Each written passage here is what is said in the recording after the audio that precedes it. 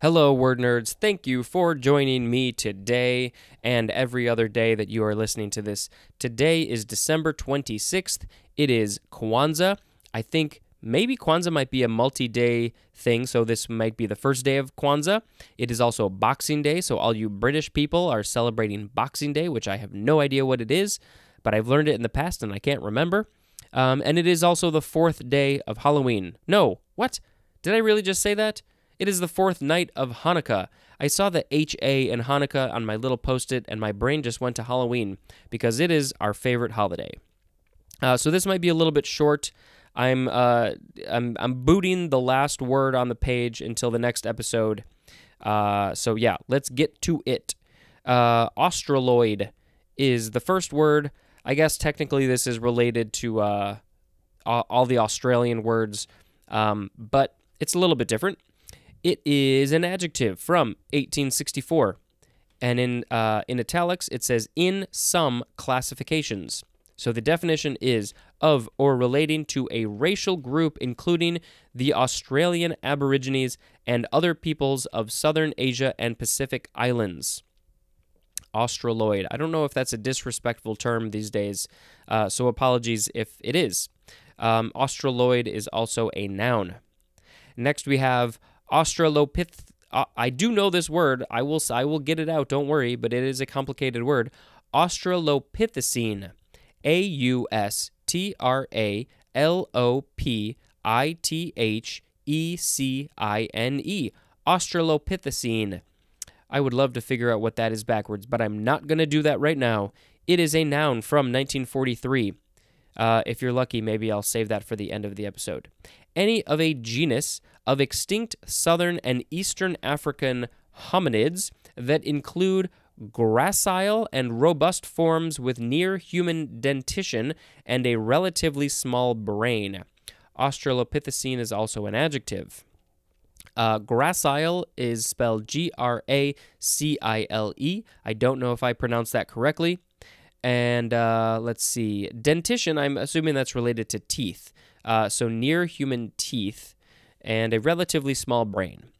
This is ultimately from Latin australis, from uh, oh, plus the Greek pithekos, which means ape. So there you go. Next, we have Austrian pine.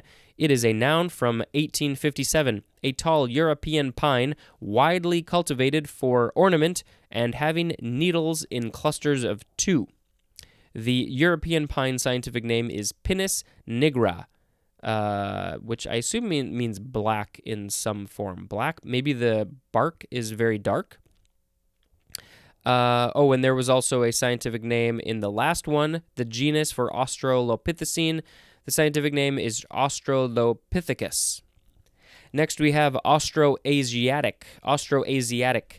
It is one word. It is an adjective from 1922 of relating to or constituting a family of languages of South and Southeast Asia that includes Mon Khmer and Munda as subfamilies. I don't know what those are. They are spelled. Uh, the first one is M O N hyphen K H M E R, and the other one is just M U N D A. Apologies if I mispronounced them, and I'm sure I did. Next, we have Austronesian. It is an adjective from 1925 of relating to or constituting a family of languages spoken in the area extending from Madagascar eastward through the Malay Peninsula and archipelago to Hawaii and Easter Island, and including practically all the native languages of the Pacific Islands, with the exception of the Australian and Papuan languages. Uh, so this is from the word Austronesia, which means islands of the southern Pacific. Now we have a prefix. It is AUT or AUTO. It is number one, self or same one, as in autism or autobiography. So that's interesting. The word autism, which we uh, we'll get to uh, probably in the next episode, uh, next one or two episodes. Uh, so it's it's the prefix AUT means self or same one. So I'm, I'm really curious, just because autism is a thing I think about a lot about, and there's a lot of people who deal with that. Um, it is. Um, I'm curious wh- where that word came from, uh, where why they are connecting it to self or same one. What was the thought process behind the uh, creation of that word? Anyway, number two, automatic or self acting, as in autopilot. Next, we have autacoid, A U T A C O I D.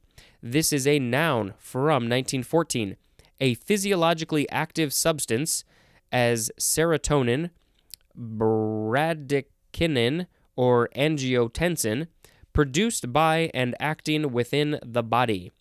I don't know if I pronounced those words correctly, but we are going to read the definition without the part in parentheses. A physiologically active substance produced by and acting within the body. Um, let's see. This is from out, the prefix out plus the Greek akos, which means remedy. It is probably akin to the Old Irish ICC, ick, which means cure.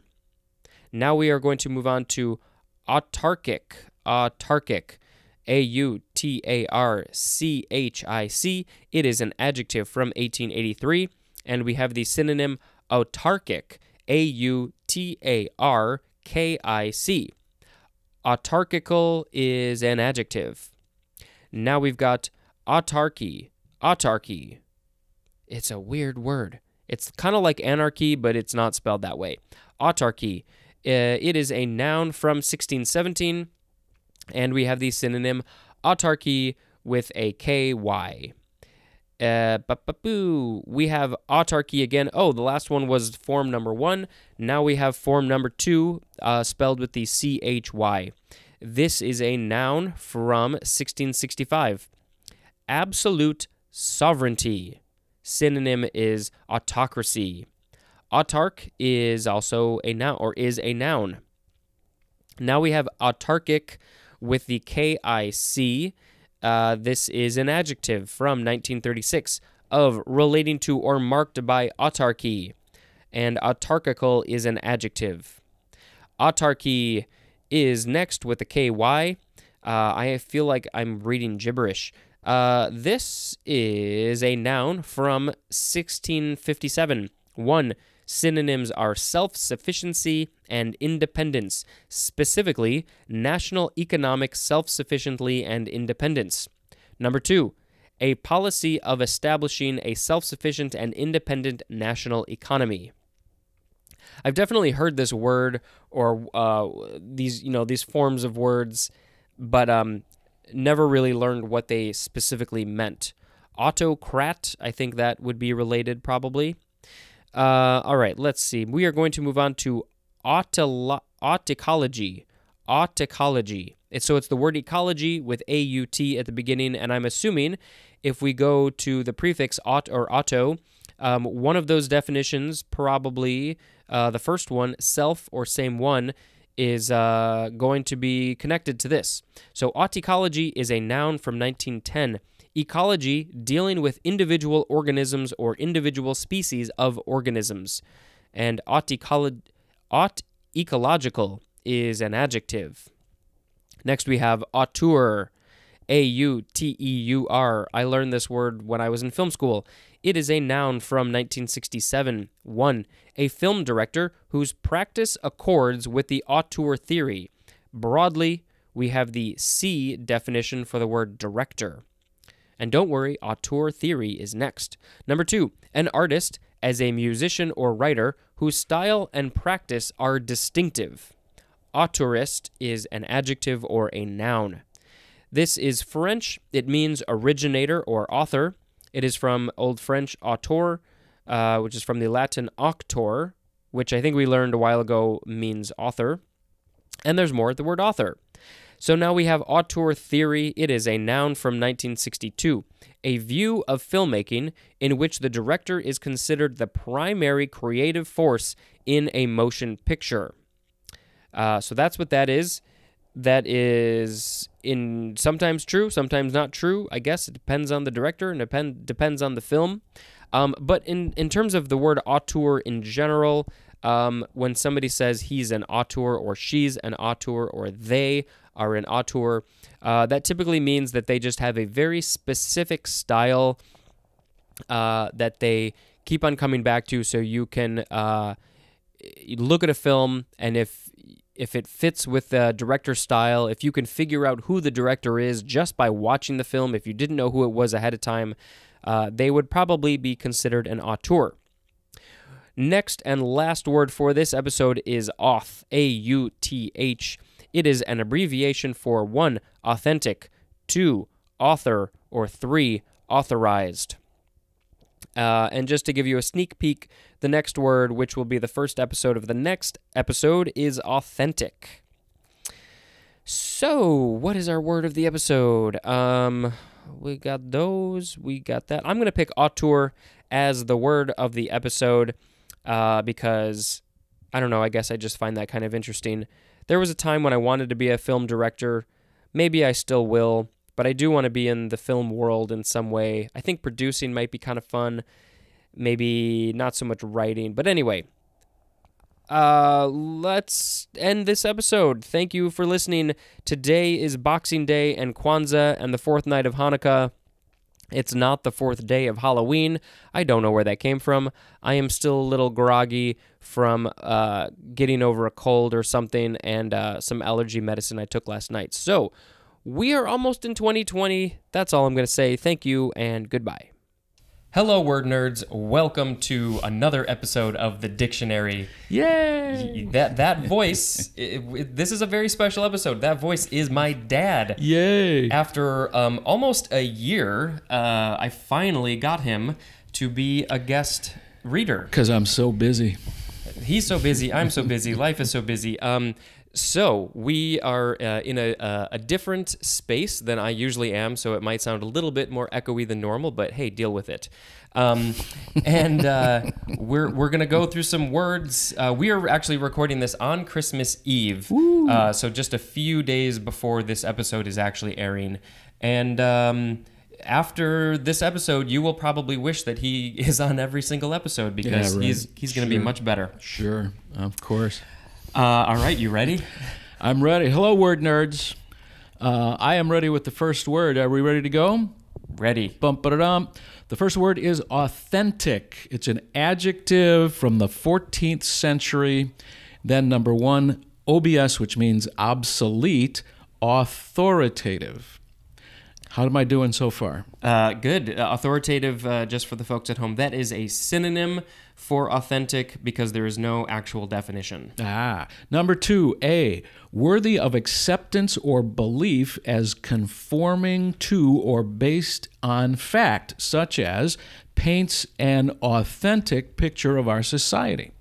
Uh, B, conforming to an original so as to reproduce essential features, such as an authentic reproduction of a colonial farmhouse. So, this is an interesting word to have for today, Spencer, because this is kind of the end of the year and we sort of take stock of our lives. And it's a good time to be authentic about that. Hmm? Perfect choice. Very good. And make sure to keep your mic nice and close to your mouth when you Oh. move your head. Um, okay, I move around too much. Okay. Mm, C, made or done the same way as an original, such as authentic Mexican fare. Three, not false or imitation, real, actual, And real and actual are synonyms. synonyms. Yep. Anything Yep. in that lower caps are synonyms. as an authentic Cockney accent. Can you do an authentic Cockney accent for me? I say, mate, of course I can. I can't do it for too long now. I run out of steam. Maybe I should read the rest of it as a Cockney. Uh, maybe Huh? just the next one. Four, A of a church mode. People won't understand what I'm saying. Ranging upward from the keynote, compare plagal or plagal, P L A G A L. And uh, just to be a little bit more specific, that is the one definition for the word plagal or plagal. We don't know how to pronounce it. P L A G A L. Go look it up. B um, of a cadence. I'm back to English now. Of a cadence, progressing from the dominant chord to the tonic, Compare plagal to. 5. True to one's own personality, spirit, or character. Authentically is the adverb. Authenticity, authenticity is the noun. Um, I yeah. do that all the time, and I've commented on this before. When you have those other forms of the words, depending on how they've changed things, the emphasis on the syllable changes, and it gets very On a different syllable. exactly. Uh, synthetic, authentic, Sy- the- uh, synonym. Sorry. Yep. So, so uh, we see this every once in a while. This is just a bunch of synonym information for the word authentic. Here we go. Authentic, genuine, bona fide, or bona fide, meaning being, being actually and exactly what is claimed. Authentic implies being fully trustworthy as according with fact, such as an authentic account of the perilous journey. It can also stress painstaking or faithful imitation of an original, such as an authentic reproduction authentic Vietnamese cuisine. Genuine implies actual character, not counterfeited, imi- imitated, or adulterated. Genuine piety, for example. Genuine maple syrup. Should we say genuine or genuine? It, either way, uh, Goes either way? Yeah. We haven't gotten to the G's yet. No. That'll be in the next century. It also connotes definite origin from a source, such as a genuine Mark Twain autograph. Oh, interesting. Bona fide or bona fide implies good faith and sincerity of intention, such as a bona fide offer for the stocks. And I never know how to pronounce that. You know, depending on the context, if you're being all fancy in Latin, you'd say bona fide, right? But usually we just say bona fide. And there is the there it can be a noun too. Your bona fides it means something. I don't know what it is. Mm-hmm. That's the extent of my knowledge, sir. So that is it for the word authentic, and we are going to move on to authenticate. It's a transitive verb and it's from 1651 to prove or serve to prove the authenticity of, such as authenticate a document. The synonym, see confirm. Authentication is the noun, authenticator is the, a noun as well. So our next word is author. It is a noun from the 14th century. Uh, 1a, one that originates or creates. The synonym is source, such as software authors uh, or film. It could be film authors too. The author of this crime is another example. B, cap. What is cap? That means it's a in in this definition, author would be capitalized, so capital A. Oh, okay. Then God in the first uh, the first definition. Two, the writer of a literary work as a book. Uh, authorial is an adjective. So this is the second form of author. It's a transitive verb from 1596 to be the author of. The synonym is write, and that's W R I T E, such as has authored several books. Authorless is a noun from 15th century, a woman or girl who is an author. Authorization, authorize, the British variation of authorization with a Z and authorize with a Z. Yep, and we see those all the time. Yeah. Uh, authoritarian is an adjective from 1861. One, of, comma, relating to, comma, or favoring blind submission to authority, as in had authoritarian parents. We don't have anything like that in our experience. Nope. Two, of relating to or favoring concentration of power in a leader or an elite not constitutionally responsible to the people. that doesn't apply to anything in the news, does it? Such as an authoritarian regime. Authoritarian is the noun, authoritarianism is a noun, and the next word is authoritative. It's an adjective from 1605. 1a, having or proceeding from authority. Uh, the synonym is official, such as authoritative church doctrines. B, clearly accurate or knowledgeable, such as an authoritative critique. Two, dictatorial. Uh, the second definition. Authoritatively is the adverb, authoritativeness is the noun, and that is our last word. Yes, it was. And now I would like you to look back to the words that we just read, that you just read, and pick a word of the episode. You can use whatever criteria you want. Any criteria? Well, I would take that this is the Christmas season, and what I said before about being authentic is um, if there is ever a time to kind of sit back and take stock of what's happened in the year before, what you'd like to have happen in the year to come, that it is good to be authentic with your thoughts. Are you kidding yourself about things? Are you being straightforward with uh, the people that you have in your life? So it's a good time to think about being authentic. I like that sentiment. Uh, yeah, uh, it's a good, you know, even though it's fairly arbitrary, the end of the year, you know, this is what we've lived with for our whole lives. And yeah, I think it's a good time to look back and see what changes you want to make, if you want to make any changes. And yeah, I, I like that. I'm glad. Or otherwise, I had to re-record it. No, we're not going to do that. Uh, cool. Well, thank you very much for doing this. We'll. Uh, I'm going to talk with him off mic and see if he wants to do another episode. So uh, you Twist know, my arm. to, yeah, uh, you you may or may not hear him again on tomorrow's episode. So thank you very much. Um, if you have any ideas, that I'm looking at him and I'm also talking to you. If you have any ideas on a good sign off for me, since I've been saying the same thing over and over again, uh, please email me, send me a message. Uh, until next time, this is Spencer and sometimes other people like Jim reading the dictionary. Goodbye. Hello, word nerds. Welcome to another episode of this podcast called The Dictionary. Thank you for joining us. Yet again, we have my dad, Jim. We, uh, we're still right. sitting here uh, reading this very tiny print in this book. Um, so, uh, yeah, you want to just get to it? Let's get to it. All right, there we go. The first word is authority. A U T H O R I T Y. It's a noun, and it's from the 13th century. Wow. Uh, 1A1, a citation, as from a book or file, used in defense or support. And then 1A2, the source from which the citation is drawn. 1B1, a conclusive statement or set of statements as an official decision of a court. Uh, then 1B2, a decision taken as a precedent. 1B3, no. Yep, you got it. 1B3? Good job. 1B3, testimony, That's our synonym. synonym. C, an individual cited or appealed to as an expert. 2A, a power to influence or command thought, opinion, or behavior. 2B, freedom granted by one in authority. And the synonym, synonym is, since we're in the Christmas season, it's the synonym that's cinnamon.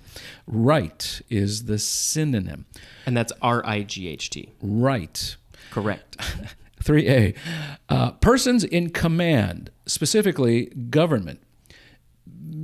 B, and this is 2B. Three- 3B. 3B. A governmental agency or corporation to administer a revenue producing public enterprise, the tr- such as the Transit Authority.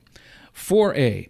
Grounds, warrant. And those are those synonyms. are synonyms. Grounds, war- grounds, warrant, such as had excellent authority for believing the claim. 4b, convincing uh, force, convincing force. Uh, uh, example would be lent authority to the performance. Synonym, see influence and power. And those are just two two more synonyms that they wanted to throw in there at the end uh, after all of those definitions. This was a very complicated word for a uh, newbie guest reader such as yourself. Yeah, that's tough. So you're welcome. Author- authorization is the next word. It is a noun from the 15th century. One, the act of authorizing. Two, an instrument that authorizes. And the synonym would be sanction. The next word is authorize, and that's a transitive verb. Uh, and the forms of it are authorized and authorizing, comes from the 14th century. Uh, one, to establish by or as if by authority. And the synonym would be sanction. A, customi- a custom authorized by time. Oh. And that's our example. That's our example. A custom authorized by time. Number two, to invest, especially with legal authority. And the synonym is empower, such as authorized to act for her husband. Three, and that's archaic, the synonym is justify, 1a, authorizer, which is a noun. The next word is authorized version. Oh, it's two words. We get two for one. Authorized version is a noun from 1814. It's a revision of the English Bishop's Bible carried out under James I, published in 1611 and widely used by Protestants, also called the King James Version. Were you named after uh, James the First? He was named after me. Oh, yeah. The next word is authorship, and that's a noun from 1710. One, the profession of writing. Two, the source as the author of a piece of writing, music, or art. Number three, the state or act of writing, creating, or causing.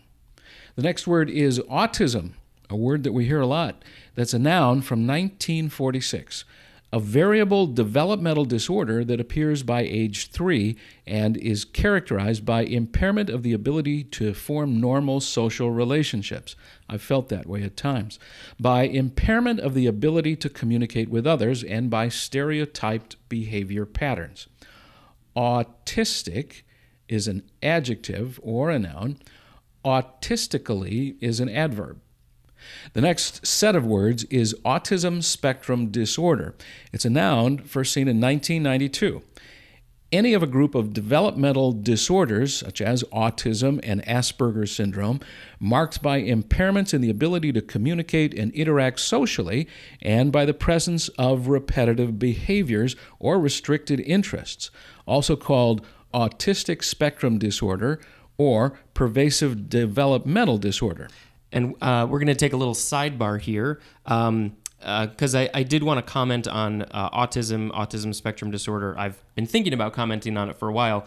Um, after watching the word uh, the show Atypical, uh, mm-hmm. which I've which we actually talked about a number of episodes ago, uh, I sort of realized that I feel like I'm slightly on the autism spectrum. Really? Um, uh, and so you know, I didn't plan to have you here for this episode, but I don't know how much or how much experience you have with people with autism, but the little bit that you know, uh, would you agree, disagree? How? What's your experience? You know, seeing me grow up, and you know, what are your thoughts on that? Hmm. Uh, well, in high school, we had you tested, and you came out very strongly in some things and not so strongly in others. And and you know, for some backstory, the reason I was tested was because I had a lot of issues in you know in English classes, writing, reading and writing. Um, not that I couldn't read or write; it was just more of um, it was difficult. It was it was hard to comprehend what I was reading, and you know, I wasn't a very good writer in terms of you know the you know the, the content of what I was writing. Uh, you know, so yeah, there there was definitely it seemed like there was some sort of lag. Uh, maybe I had a learning disability or something like that it was something that you just uh, never. Um, I don't know if you do now, but at the time when you'd be reading a book in English and they would talk about the theme, and it was like it just went over your head. Oh, it just still, you could still not does. get a theme, and and putting it into words, putting it into sentences, was like pulling teeth. But, sure. But um, but do math in your head, that's a totally different story. Yeah, so it w- very clear that I was much better at math and science than English. But on the other hand, uh, socially, I don't know anybody who's better. So, if, well, if, if autism has to do with social interactions, I, I w- would agree and agree and disagree. Um, I think, especially when I was younger, uh, you know, this is this is a long sidebar and apologies, but you know, my my my uh, my regular listeners are aware that I get off on tangents sometimes. Um, yeah, when I was younger, um, I think social cues was kind of a thing. Um, to this day, I'm not very good at small talk, m- meeting somebody for the first time. Um, you know, you you obviously because I live with this, my, you know, day to day. You don't you don't have the same experience that I do. Um, but this is especially after watching that show, Atypical, and I do strongly recommend everybody watch that. But after watching that, I realized.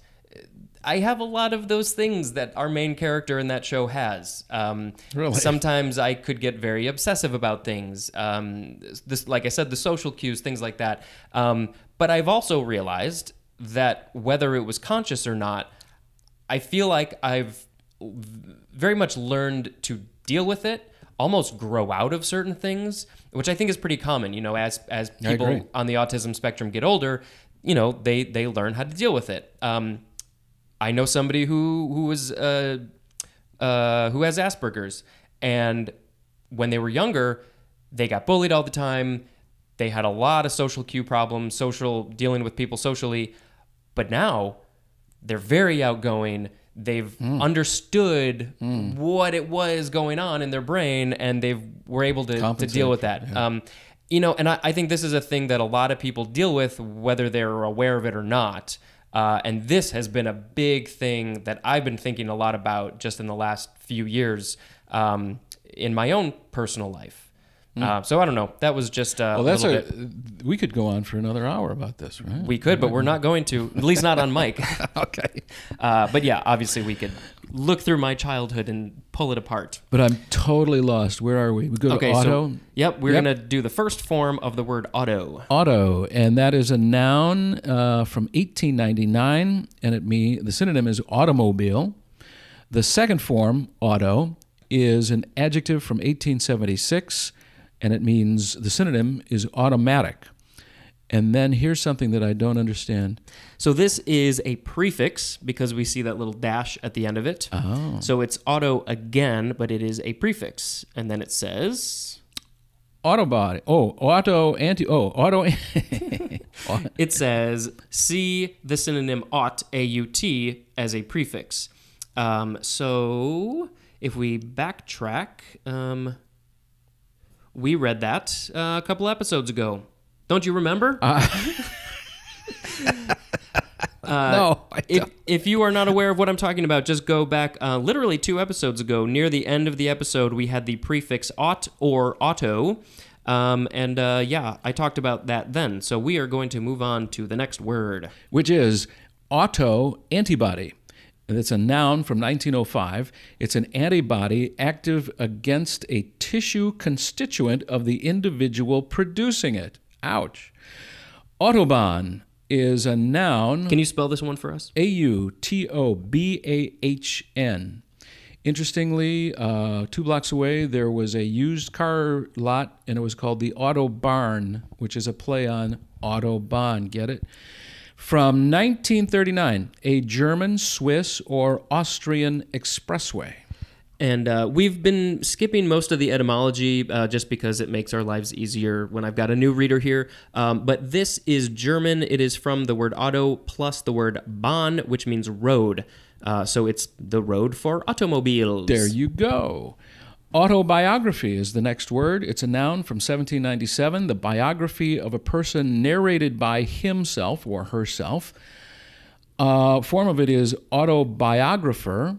That's a, uh noun. And uh, another form is autobiographical or autobiographic, which are adjectives.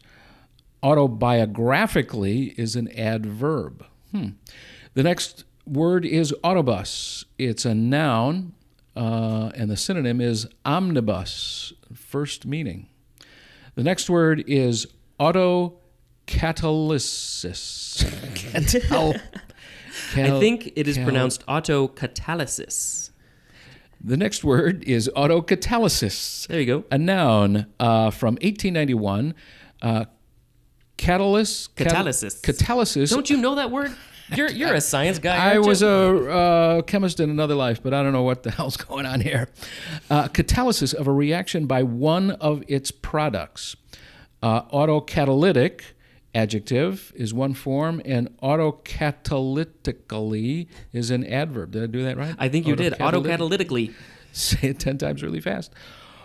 Autocephalous. Autocephalous is an adjective um, from 1845, independent of external and especially patriarchal authority. Patriarchal authority, used especially of Eastern national churches. Another form is autocephaly. Cephaly. I Autocephaly. think, hey, I think you had it right. Autocephaly. Okay, that's a noun. Uh, autotochthon. Oh, well, now we have to look at the pronunciation guide for this one. Autoc- autochthon. Autochthon. I think that's how it's pronounced. or a touch duns or a touch no duns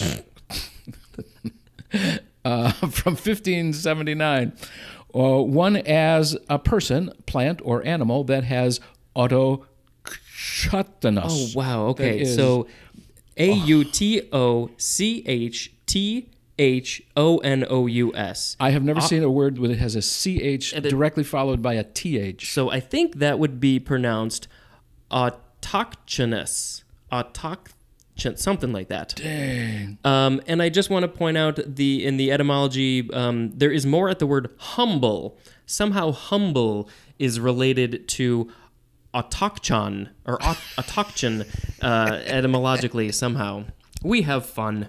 Oh, look at the next word. autochthonous Yeah, so I think uh, autoch- autochthonous. autochthonous adjective 1893 number one uh, synonym is indigenous native such as an autochthonous people huh i said it two formed or originating in the place where found such as an autochthonous rock or an autochthonous infection And I think it's autochthonous. Autoch- Yeah. autochthonous. Okay. Autochthonously is go. the adverb. And our last word is autoclave. This is the first um, Form. me- first form. And autoclave, A U T O C L A V E. It's a noun.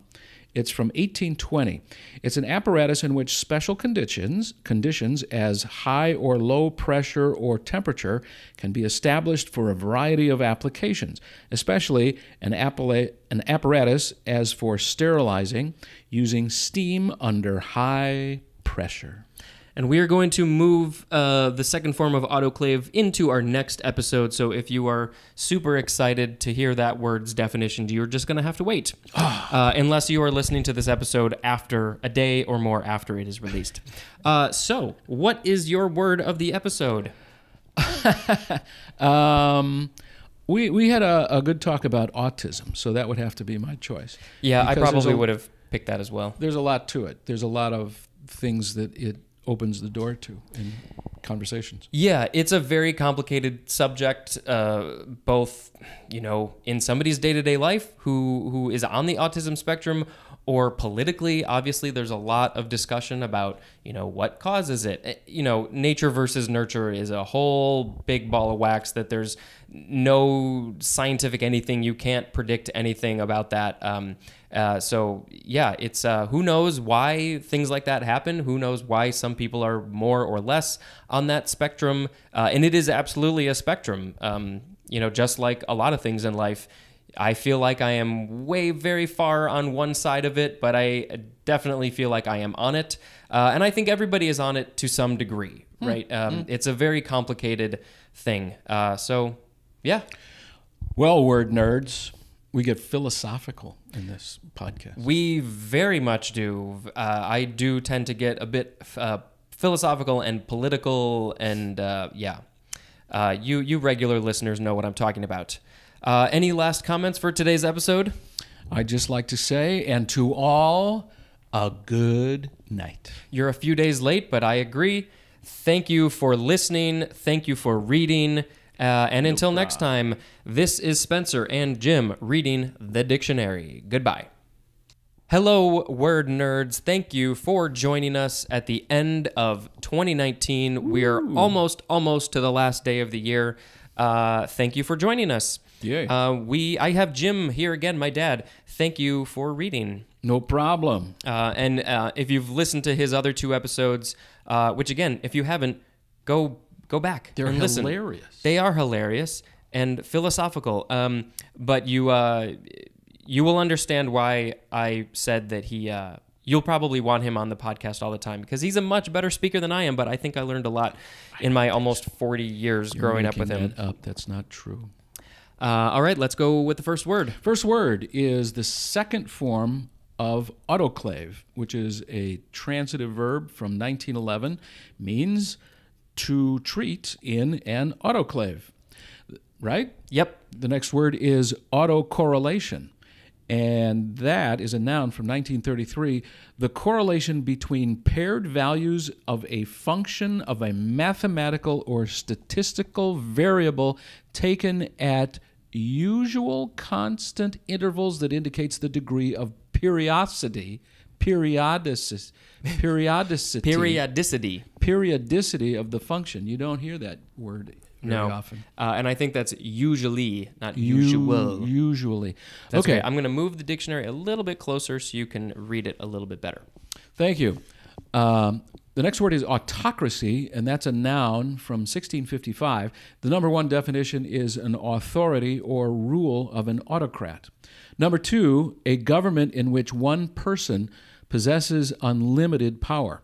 Number three, a community or state governed by autocracy. And if you want to know more about autocracy, keep on listening because we're about to talk more about it. Uh, because the next word is autocrat. Oh, it's a noun from 1800. The first meaning is a person, as a monarch, ruling with unlimited authority. Number two, one who has one who has indisputed influence or power. Or undisputed.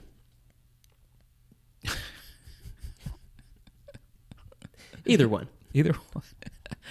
I'm losing it here. Autocratic is an adjective from 1772. Uh, number one, of relating to or being an autocracy, and the uh, the what's the word? Synonym. the synonym. Oh, I like cin- cinnamon. The cinnamon synonym is absolute, such as an autocratic government. Second meaning, characteristic uh, of or resembling an autocrat. Synonym is despotic, such as an autocratic ruler. Um, autocratically is the adverb. The next word is autocrine, and that is an adjective from 1980. 1980, really, that's recent. Of, relating to, promoted by, or being a substance secreted by a cell and acting on surface receptors of the same cell. And you can compare paracrine. Hmm, autocrine and paracrine. Yeah, usually when they say compared to another word, they mean uh, it's it's probably an opposite. Ah, okay. Autocross is the next word, and that is a noun from 1957, an automobile gymkhana, and that's G Y M K H A N A. And I have to give a shout out to the podcast. How did this get made? Uh, because they talked about a movie called Gymkata. I think that was G Y M maybe K A T A. Um, uh, so I'm guessing it's very similar to this word Gymkhana. Um, but in that movie, it sounded very ridiculous. It was kind of like an action uh, superhero guy. Uh, who was very good at gymnastics, and so he would be in a. I never. I watched one clip. He would be in a town like in the Middle East somewhere, and there was just some random you know, pommel horse, and he was doing his gymnastics around the pommel horse, kicking people as they tried to get to him. It was, it looked ridiculous. The next one is scaring me because it's got a thing at the end. Auto da fe, and the E in fe has a over it. We call that an accent. Okay. Uh, and it is A U T O hyphen D A hyphen F E. Auto da fe, noun uh, from 1697. It's the ceremony for pronouncing judgment uh, by the Inquisition, which was followed by the execution of sentence by secular authorities. You. Uh, broadly means the burning of a heretic.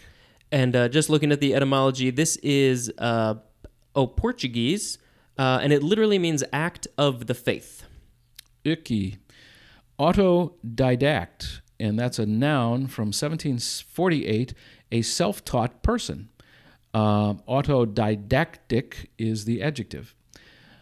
Autosius. Autosius. Uh, let's see, o- actually. Otitius. Uh, Can you spell it? A U T O E C I O U S. It's got toe in the middle of it. So that goes back to 1877. It's passing through all life stages on the same host, such as autosius, Atetius. Atetius rusts. Ew. Autosiously is the adverb. Atosiasism. Atosism. It's fun to watch me squirm, right? Uh, You have no idea how much I squirm when I get to words like these. Uh, so I think that first one is auticiously. That's the adverb, and autism. Autism Is the an- noun. Yep. I don't like that one. Let's move on. The next one is autoerotic asphyxiation. All right. So you kids might need to uh, skip ahead. Um, but uh, yeah, let's. You know, I've I've had to read words uh, in this vein, so uh, let's read it. No, it's a noun from 1973. A state of asphyxia intentionally induced as by smothering or strangling oneself so as to heighten sexual arousal during masturbation. There you have it. The next one is related. It's autoeroticism. That is a noun from 1898. One, sexual feeling arising without known external stimulation So it's all in the brain. uh, which it is anyway, right? Two, sexual gratification obtained solely through stimulation by oneself or one's own body. Uh, autoerotic is the adjective. And uh, I've mentioned this in the past. I do not look at these words ahead of time. I I just We prefer to be surprised. yes, we are very surprised. And uh, I gotta say, I was a little surprised to see these here uh, while sitting next to my dad. Uh, but we are going to move on to the next word. Auto exposure is a noun from 1957, a camera system that automatically adjusts the exposure according to ambient lighting. And if you are a photographer or a film person, if you shoot video or photos, uh, you probably know this. Uh, but my recommendation is do not use auto exposure, um, except in maybe very specific situations. Uh, auto anything really for photos and film, uh, not good. except for autoeroticism. Auto, that's good. I'm okay with that. Uh, next one is autofocus. Uh, 1937, an automatic focusing system, as on a camera. Uh, autofocus is the verb Yeah, so the, the yeah, so it's a the normal one is a noun and it can also be a verb. Autofocus does come in handy. That's for damn sure. Yeah. Uh, autogamy. And I think this is going to be our last one. Okay, last word. Autogamy from 1877. Uh, the the word is, So this is weird. Um, so there's a synonym uh, right at the start, self-fertilization, um, and then it says as a. pollination of a flower by its own pollen. B. Conjugation of two sister cells or sister nuclei of protozoans or fungi. Autogamous is the adjective, and that concludes our words for today. That is that. Um, related to fungi, I just saw a trailer for a documentary all about fungi. I think it's called Fantastic Fungi or something. Maybe I'll put a link in the episode description. They use a lot of time lapse photography and interviews. with- beautiful. oh my god, it's it's incredibly beautiful, but also just fungi in general are way more fascinating than I ever realized. I listened to an interview with um, a guy who's actually in the documentary, Paul Stamets, I think is his name, and he Oh, he's the main- he's the dude, the fungi Yeah. dude, and uh, I learned a lot about them, and uh, they're they're really amazing. Uh, so yeah, that is the last word of the episode. Um, what's what's your word? What's what's the word that you pick for the word of the episode? Hmm, tough choice. Uh, autoerotic, I think, has got to be. Um, I'll go with fungi. No, that wasn't in our. You got to pick an A word. Okay, it's got to. We're not well, in the that was, Fs yet. That was a word that we used in conversation. Does that doesn't count? Well, you could pick autogamy, but Um, um, okay. What I, ones- I think you should pick. Uh, where did it go? Um, uh, oh crap! autodidact, self-taught person. Oh, I was thinking of a different word. auto de fe is bad. I don't like that at all. Oh no, there it is. Autitious. Okay. Question is, what does that mean? Do you remember? Nope. Passing through all life stages on the same host. Oh yeah. There you go. Is that your word? That's my word. All right, that is the word of the episode. Thank you to my dad for Spencer, reading. you are a fun guy. I know it. so are you. Uh, that is the episode. Thank you very much for listening. Um, and uh, what's today? Oh, we're still got a couple of days until New Year's Eve. I keep on looking at my little post-it notes. Uh, yeah, that's it. Tell your friends, tell your enemies to listen to this podcast. Uh, write reviews on whatever uh, platform you're listening to. Um, Oh, I, I have a Google Voice number. I think I've mentioned this in the past. Call me. Uh, tell me your favorite word that starts with A. Tell me your favorite moment from this podcast. Tell me whatever you want. I'm trying to uh, get people to to leave me voicemails, tell me stories, whatever they want. You're looking for engagement. That's Engagement, yes, for. Yeah. please engage me. Um, because when I finish the letter A uh, in the middle of January, I want to, after that, post an episode of your responses, your voicemails. Tell me what you think. Um, Go. hopefully, I don't have to censor them too much. Uh, oh, this was a relatively short episode. Good job. Yeah. Yeah. Thank you. Uh, all right. Thank you and goodbye. Hello, word nerds. Welcome to another episode of The Dictionary. I have another special episode for you today because I have my cousin Ryan as my guest. Uh, he is my guinea pig because, uh, as my regular listeners know, usually when I have a guest on, they are the one who is actually reading.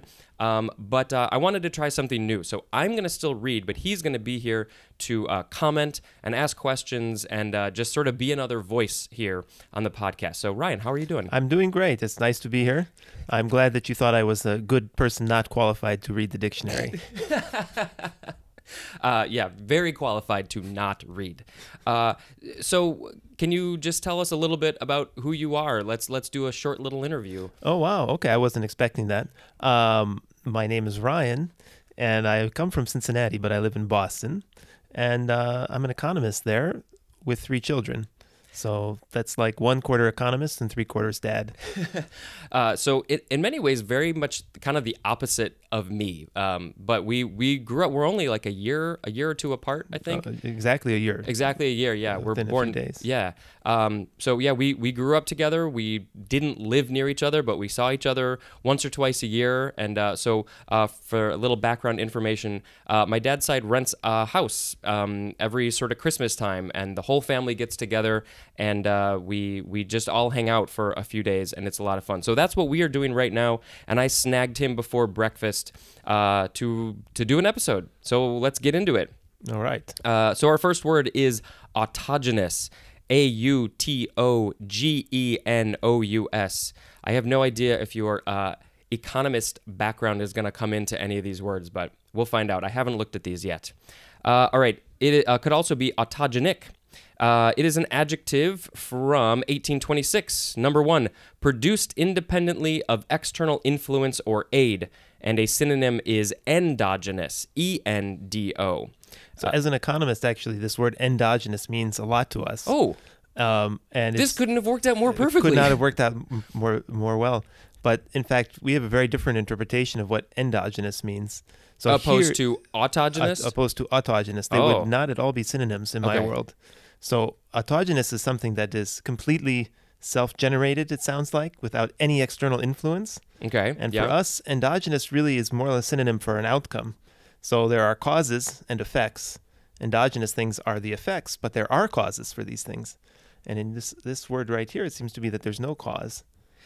It's self-generated. Nothing caused it. It came came only from internal forces. right, produced independently of external influence uh, or or aid. Yeah. Yeah. So yeah. Um, so anytime I come across these words that are in lower caps, uh, I've always said they're synonyms, um, which I think is usually the case. Sometimes if it um, if it seems to be the opposite, it'll say compare to, Mm. and then it'll give the word, which it doesn't say here. Um, but yeah, maybe. Um, No, I'm sure that it's meant as a synonym. okay. Okay. I'm just, but not in your context. In my context, that that endogenous word is is a really important word, and it means something rather different than they have in mind here. That's so interesting. Yeah. Uh, can you give us an example of something in your world that would be endogenous, or is that a little bit too complicated? I don't know. It's not so complicated. Any economic outcome would be endogenous. So the price of meat this year would be endogenous, and it would be caused by many things, including perhaps the weather that affected farming. Sure, sure. So those would be the exogenous forces causing the price of meat, it wouldn't be autogenous, Right. but endogenous. Nice. Yeah. I, like I said, that couldn't have worked out more perfectly. this is very random, uh, and so I'm very, I'm very grateful for that. And even if that's the only one that you have a connection to, that's perfectly fine. Uh, all right, number two for autogenous, originating or derived from sources within the same individual, as in an autogenous graft. Number three, not requiring a meal of blood to produce eggs. Uh, a little bit different from our number one definition, uh, as in autogenous mosquitoes. Ugh. Yuck. Uh, autogenously is an adverb, and autogeny is a noun. Uh, a little bit on the uh, etymology. Uh, it's from aut, the prefix aut plus gene or genies from Greek, which is born or produced. And there's more at the suffix gen. Good to move Excellent. on. Yeah. Yeah, let's do it. Uh, let's see. This, I'm not sure. Uh, autogyro. Yeah, I think that's how it's pronounced. Autogyro could be spelled A U T O G I R O or G Y R O. Uh, this is a noun from 1907, a rotary wing aircraft that employs a propeller for forward motion and a freely rotating rotor for lift. Do you know anything about planes? That sounds like a helicopter. Oh, I think you're probably right. Ro- rotary wing that employs. Yeah, I don't know anything about planes, um, but no, that makes sense. I have uh, fond memories of um, our our grandpa, Grandpa Russ, giving us those little balsa wood planes, and sometimes they had the uh, the rubber band. Absolutely. Yeah, yeah. Yeah. So I, I was cleaning out my dad's basement just a few months ago, and we found a huge box with about 60 of these balsa wood planes in there from when I was a kid, but they were still working. Nice. And so I took my children out, and we've been flying balsa wood planes into the trees and leaving them behind and getting new ones. You know, yeah, right, exactly. There's there's definitely something to be said for the old technology that still works. You know, if there's no no electronics inside of it, it you can it, it'll still work or That's right. make it work or something.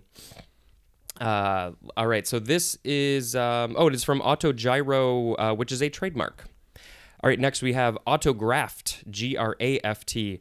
Uh, this is a noun from 1881, a tissue or organ that is transplanted from one part to another of the same body.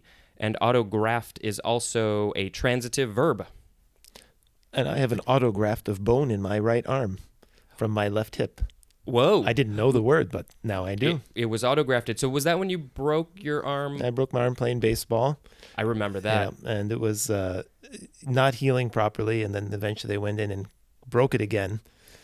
And I put I remember place. seeing the scar. Yeah. I, was it over a couple of holidays? It was you had a cast on once, and then you had another cast on later. It's possible. I, I think the whole process took less than a year, but it took Oh, okay. forever. I, I, I can't remember. I don't like to think about it so much. You still have a scar. I Still assume. have a scar, Yeah. but, so they took part of the bone from your hip yep, and put it in your arm. and put it in my arm.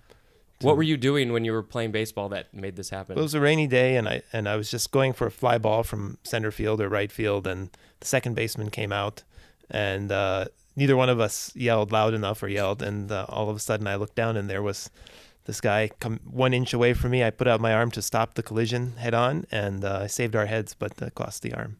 uh, uh, probably better that way, right? That's probably right. Not good that your arm broke, but save that head.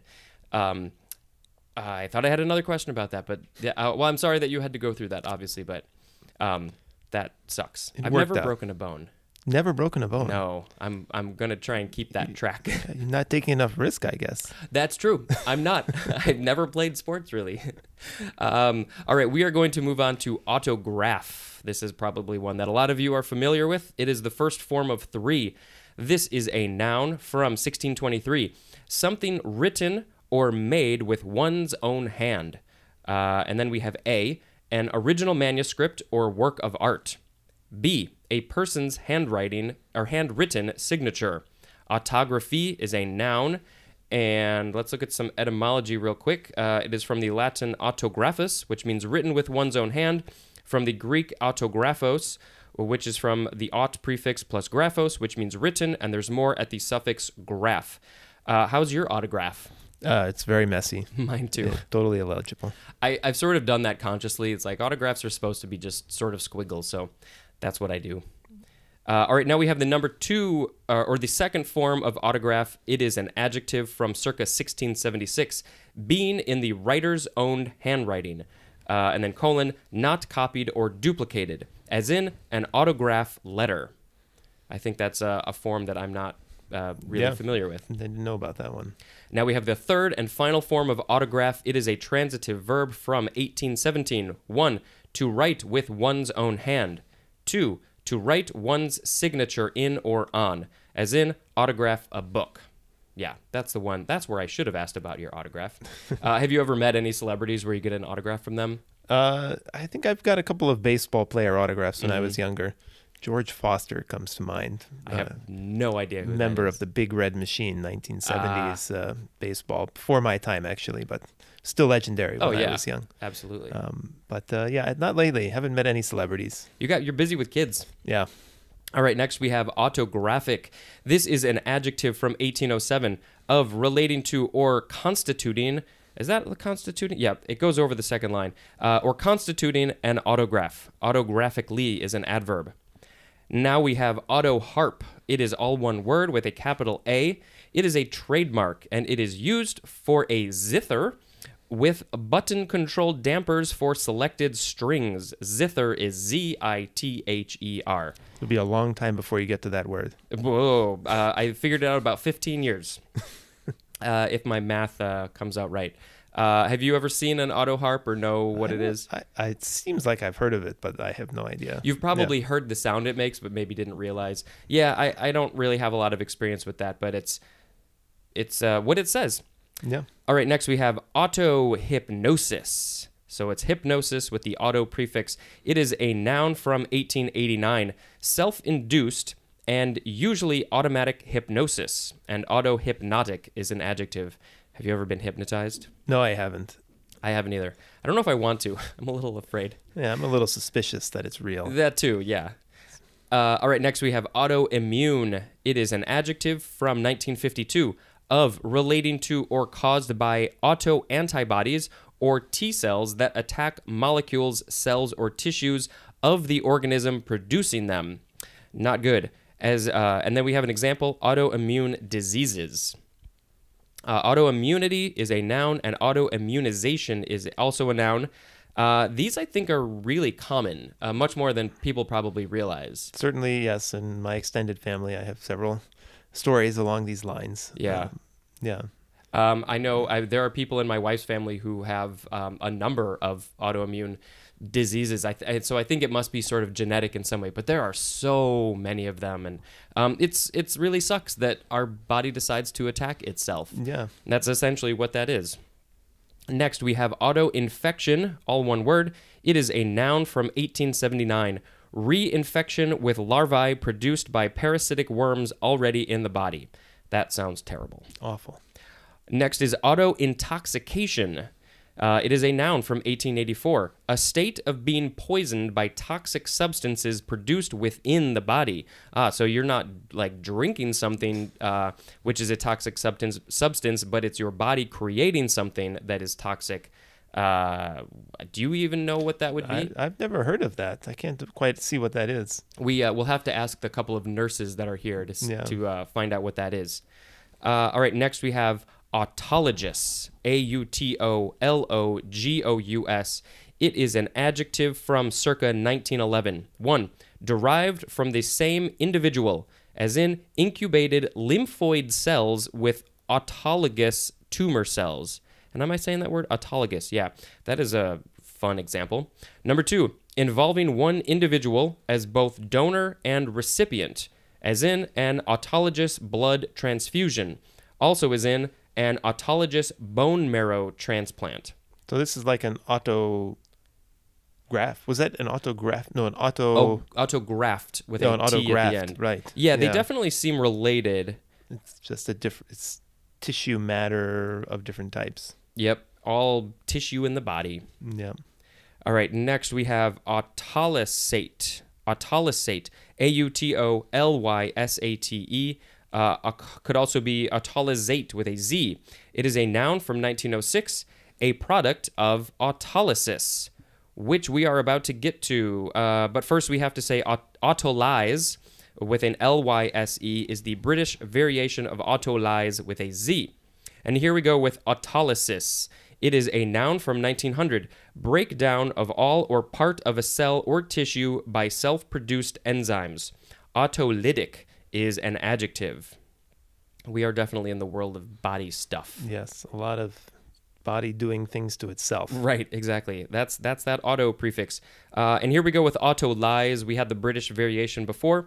Uh, it is a verb from uh, 1903. Uh, first, we have the intransitive verb definition, which is to undergo autolysis.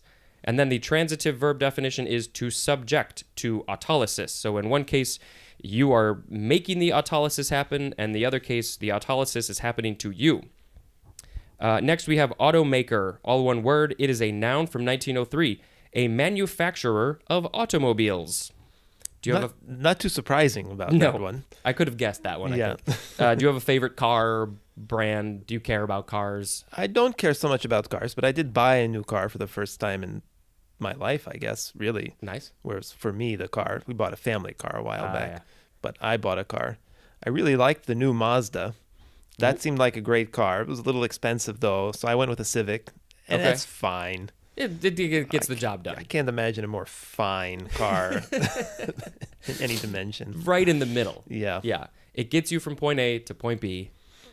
Hopefully, not too much gas guzzling. Yeah, it's got yeah. So it has. Uh, I I upgraded to the turbo engine, which has more horsepower and it's supposed to get better mileage. Oh, Which I thought you yeah. had to do that. A little faster, less gas. Yeah, but uh, but other than that, yeah, simple car. It's a car. it's a car. That's kind of how I view things. Uh, all right, let's see. We have Automat uh, with a capital A. It is a service mark, so not a trademark or a registered mark, but a service mark, used for a cafeteria in which food is obtained especially from vending machines. I feel like this is kind of, it doesn't say what year it was coined, uh, but that seems kind of like an old word. Maybe how- our parents would be familiar with Automat. But what kind of vending machines were around back then? I don't know. That's a good question, yeah. When were vending machines invented? Now we need to yeah, know this. this is interesting. I'm guessing the 60s or 70s is maybe when this was from. It's got to be the same time as TV dinners. Uh, yeah, probably. All right, next we have uh, automate. So it's like automat with an E at the end. It is a verb from 1952. Uh, transitive definitions are first. One, to operate by automation. And I know that I'm enunciating those weird words weirdly, uh, but I want to make sure that you understand them. Number two, to convert to largely automatic operation, as in automate a process. Uh, and now we have the intransitive definition to undergo automation. And auto automatable automatable is an adjective. I think we see this a lot uh, with technology these days. Yeah, and economists are, are actually discussing automation a, Mm. a whole lot in the last three or four years, asking all of these questions about whether we're going to be automated out of all of our work or not. Uh, and I have a lot of colleagues who think that this is a huge deal and the revolution is coming and we need a new society and stuff like that. And I tend to think, eh, it's just a little bit more of the same. We've had automation happening since uh, 1850 and World is managed so far. Yeah, I, I uh, this might not be a good example, but the first thing I thought of was um, meteorologists. Right, there's a lot of automation, computer models in being able to predict the weather, but you still need that human to sort of interpret it and, based on experience, sort of predict where things are going to go. So I, maybe that's sort of what you mean. That th- yeah, there's going to be more automation, but the humans aren't not aren't going to be out of a job because they still need to do something. I think you're right. Yeah, I agree. And we have one more word for this episode. It is automated teller. Two separate words. It is a noun from 1972, and we just have the synonym ATM, uh, which we read a while ago. Automated teller machine, something like that. Ooh, which you know what? If we flip the page, let's take a look to 84. Uh, that is, you know what? Let's just read that. Automated teller machine. It's a noun from 1973, and the synonym is ATM. So I figured those should go together. So I didn't tell. Oh yeah, go ahead. We still have banks. We still have banks, right? You, you can go to an ATM and get your cash, but there, you still sometimes got to talk to a person. Yeah. Um, so I didn't tell you this beforehand, but I want you to pick a word of the episode. So of all the words that we read, using whatever criteria you want, what would be your favorite one? Actually, I think this automation or uh, yeah, we had automate. automate. Yeah, yeah. Okay, so that's the verb version of automation, I right. guess. Because I think Au- yeah. automation is going to be coming maybe in the next episode. Right. Okay. So I think automate. It's a pretty big word It is. It and a big idea. especially these days with technology and more things can be automated but whether do you want to automate things or not and looking at people's jobs so that is going to be the word of the episode thank you very much to ryan for uh, being my guest reader being my guinea pig on this uh, new form which actually i think worked really well uh, we can have a conversation about the words Excellent. Thanks, and uh, Spencer. until next time this is spencer and ryan reading the dictionary goodbye Bye. Hello, word nerds. Thank you for joining me. Uh, today is New Year's Eve, so happy New Year's Eve to you. I have another guest for you. Uh, this is mere two hours after recording yesterday's episode with Ryan, and I now have his brother Andrew sitting in front of me. Say hello, Andrew. Hello, happy happy New Year's Eve. Happy New Year's Eve. It is the end of 2019, and uh, it's so weird. We're getting into 2020. It's it blows my mind. Likewise. Uh, all right. Uh, can you tell the people a little bit about who you are? What What do we need to know about you? Oh boy. Um, well, I live in the San Francisco Bay Area. Uh, I farm. Uh, currently a farm manager on a five-acre organic orchard, and I live in a collective um, eco village community that is sort of getting started. We're almost ten years into a project there where um, where I live now, and we're just getting just getting our s- um, housing settled, and people are starting to move into the landscape. Because you live there too. Yeah. So some hopefully 2020 and the decade that follows will be kind of fruition for a lot of the projects I've been working on for the last 10 years. Fruition for your fruits. Word. Uh, is there like a website or something that people can go to to learn more about? Yeah, we're, our group is Wild and Radish, and our website is wildandradish.com. And um, I also, the organization, nonprofit organization I work for every day is called Planting Justice, and we're online at plantingjustice.org. And is that where you go into uh, like food desert schools or prisons and, and sort of help get them to grow food? Something is that the simple explanation? Yeah, yeah, that's that's a pretty quick summary. Yeah, we uh, check out our website. There's a lot to lot to say. Um, Sure. When we just in the last couple of years, we've started working um, towards getting Indigenous folks uh, back to access to lands that historically were theirs. Nice. So you're doing a lot of really good work that people should learn about and help you out. Thanks. Um, all right, so let's start with our first word of today. Uh, it is the word automatic. A U T O M A T I C. It is the first form. Um, it is an adjective from 1748. 1A. Largely or wholly involuntary, especially the synonym. Uh, this would be the number five definition for the word reflex. So when we get to that word, the number five definition would be a synonym for what we just read. And we have an example uh, automatic blinking of the eyelids. You have anything to say about the word automatic? We have more definitions, so we can come back to that. That's a good word. I like that word. Uh, let's see. It's automatic. It is very automatic. 1B, acting or done spontaneously or unconsciously. 1C, done or produced as if by machine. A synonym for that is mechanical, and an example is the answers were automatic. Number 2, having a self acting or self regulating mechanism, as in an automatic transmission. Uh, what, what kind of car do you drive? Is it automatic or manual? I drive a 1987 Toyota pickup, and it is a five-speed manual. Uh, I I give you much respect because I never learned how to drive manual. I've I'm I've been all automatic my whole life. I, I should learn. I tried to learn once and I got too frustrated, so I the thing stopped. is, after just a few days, your manual transmission, your body makes it automatic. oh, It's nice. reflexive. it becomes automatic in your body, not in the car. Uh, all right, number three is of a firearm, uh, and the definition is firing repeatedly until the trigger is released. And then a synonym for all definitions is the word spontaneous. Automatically is an adverb, and automaticity is a noun. Uh, let's look at some etymology. It is from the Greek automatos, which means self acting. Um, and there's more at the word mind, M I N D. Now we have the second form of automatic. It is a noun from 1897. 1. A machine or apparatus that operates automatically, as A. An automatic firearm, B. An automatic transmission, uh, 2. A semiautomatic firearm, and number three, we have the synonym audible. So just to remind you, this is the noun form of automatic, and the previous form was an adjective. So that's why they were separated out that way. Audible? Um, Au- yeah, audible. audible, A U D I B L E, Oh. is the synonym for uh, that form of automatic.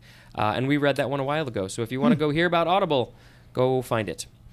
Uh, now we have automatic pilot. This is two words. It is a noun from 1915. One, eh, we have the number one definition for the word autopilot, which we will be getting to, um, it looks like, in tomorrow's episode. Yep, tomorrow's episode. Stand by for that. Uh, number two, for automatic pilot, a state or condition in which activity or behavior is regulated automatically in a predetermined or instinctive manner, as in doing his job on automatic pilot. I feel like I I definitely get onto automatic pilot sometimes where I'm not even really aware of what I'm doing. Like if I'm driving the same road over and over again, it's at a certain point you just do it on automatic pilot.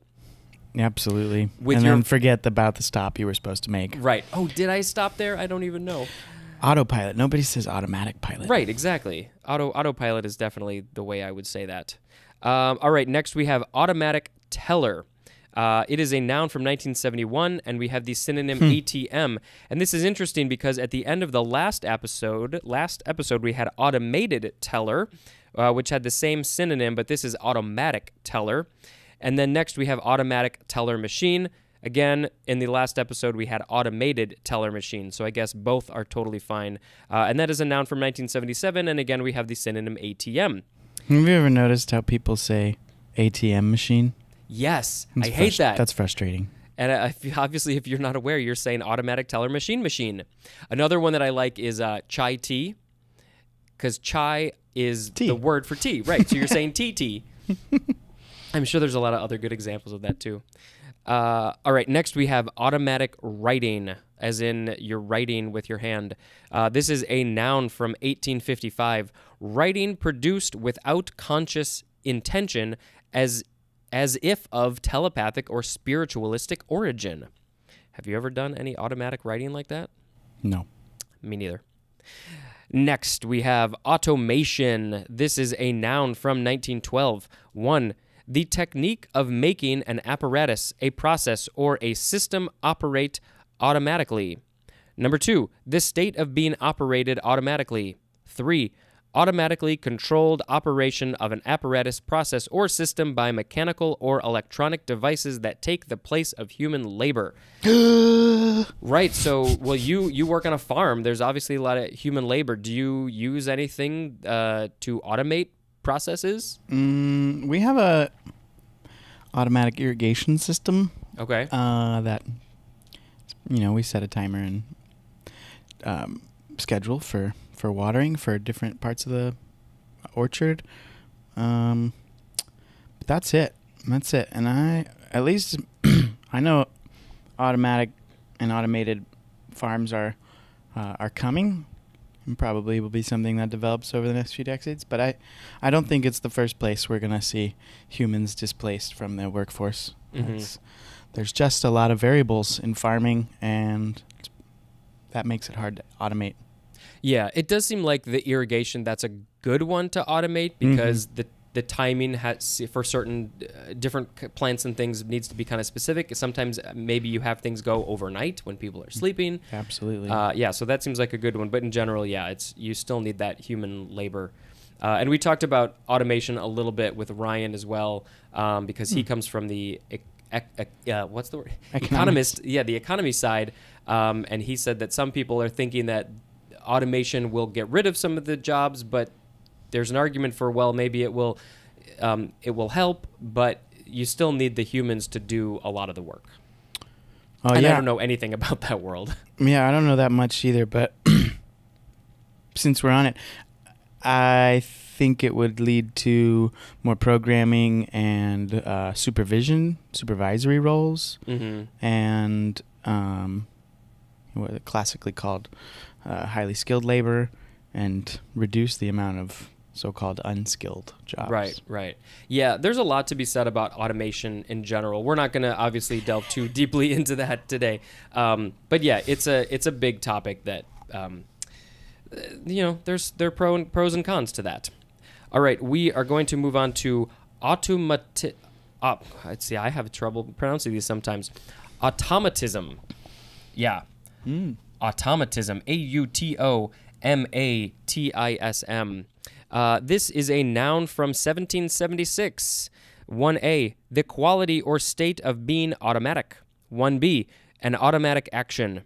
2, the moving or functioning as of an organ, tissue, or a body part without conscious, conscious control that occurs either independently of external stimuli, as in the beating of the heart, or under the influence of external stimuli, as in pupil dilation. That was a really long definition. Um, Yes, it was. this uh, I remember in science class, maybe seventh or eighth grade, uh, our teacher asked us to come up with things that happen in the body that uh, you have control over or that happen automatically. And I remember there was a little bit of a discussion about breathing because breathing can be both. It can happen automatically, which it usually does. You're not even aware that it's happening, but you can also take control over it and breathe, take a breath in, take a breath out. Uh, that seems like one of the few few bodily functions that you can very consciously control. Um, so I just was reminded of that as reading that definition. I think heartbeat too. Some people have have been able to practice that and you know get their heartbeat to go up or down a bit. Sure. You know, I think it said 1776. Yeah. That's the year of, The the, the Of- first usage in English, American English. Yeah. and it's the year of uh, American Declaration of Independence, and I think there's some self-determination wrapped up in the inclusion of that word in this dictionary. yeah, you think there's some connection there? I think so. Uh, well, let's see what number three says. A theory that views the body as a machine and consciousness as a non controlling adjunct of the body. Interesting. Number four, again, we're talking about the word automatism. Number four, suspension of the conscious mind to release subconscious images. And we have an example. Um, it says automatism, the surrealist trend toward spontaneity and intuition. And that is a quote from, uh, I'm guessing, is this the magazine Elle? E L L E? Uh, don't know what else Elle would be. Uh, but yeah, that is the example. Uh, automatist is a noun or an adjective. Um, and uh, we're going to skip the etymology. Next, we have automatize. Uh, we are we've been in the auto world for a while, uh, so apologies if some of these are not as interesting as the others. Uh, this is a transitive verb from 1910 to make an action reflexive, and actually an action is in parentheses. So the actual definition is to make reflexive, uh, and it's an example would be an action could be reflexive. Automatization is a noun. Next, and I think this is going to be our last word, uh, automaton. A U T O M A T O N. It is a good one. Uh, this is a noun from 1611. Uh, number one, a mechanism that is relatively self operating. Especially, we have the synonym robot, or as some people like to say, robot. Number two, a machine or control mechanism designed to follow automatically a predetermined sequence of operations or respond to encoded instructions. And number three, an individual who acts in a mechanical fashion. Do you have any connection to automatons? Oh, sometimes I feel like one doing my work. Yeah. We- weeding row after row. The Same thing same over and over. Yep, yep. Hmm. You um what was I going to say? I don't remember. This this is a, a seems like a very old word for the word robot. Like we that's what they used to be called. I remember seeing movies that take place in maybe the 1920s or something and they had things and they called them automatons. Hmm. Uh, and then somehow the word robot took over. Was that Isaac Asimov who coined the word robot? I have no idea. I feel like it might have been. I don't know. He had and he had the three rules of robots. Google it. Google. Uh, well, we're not going to get to the word robot for a long, long time.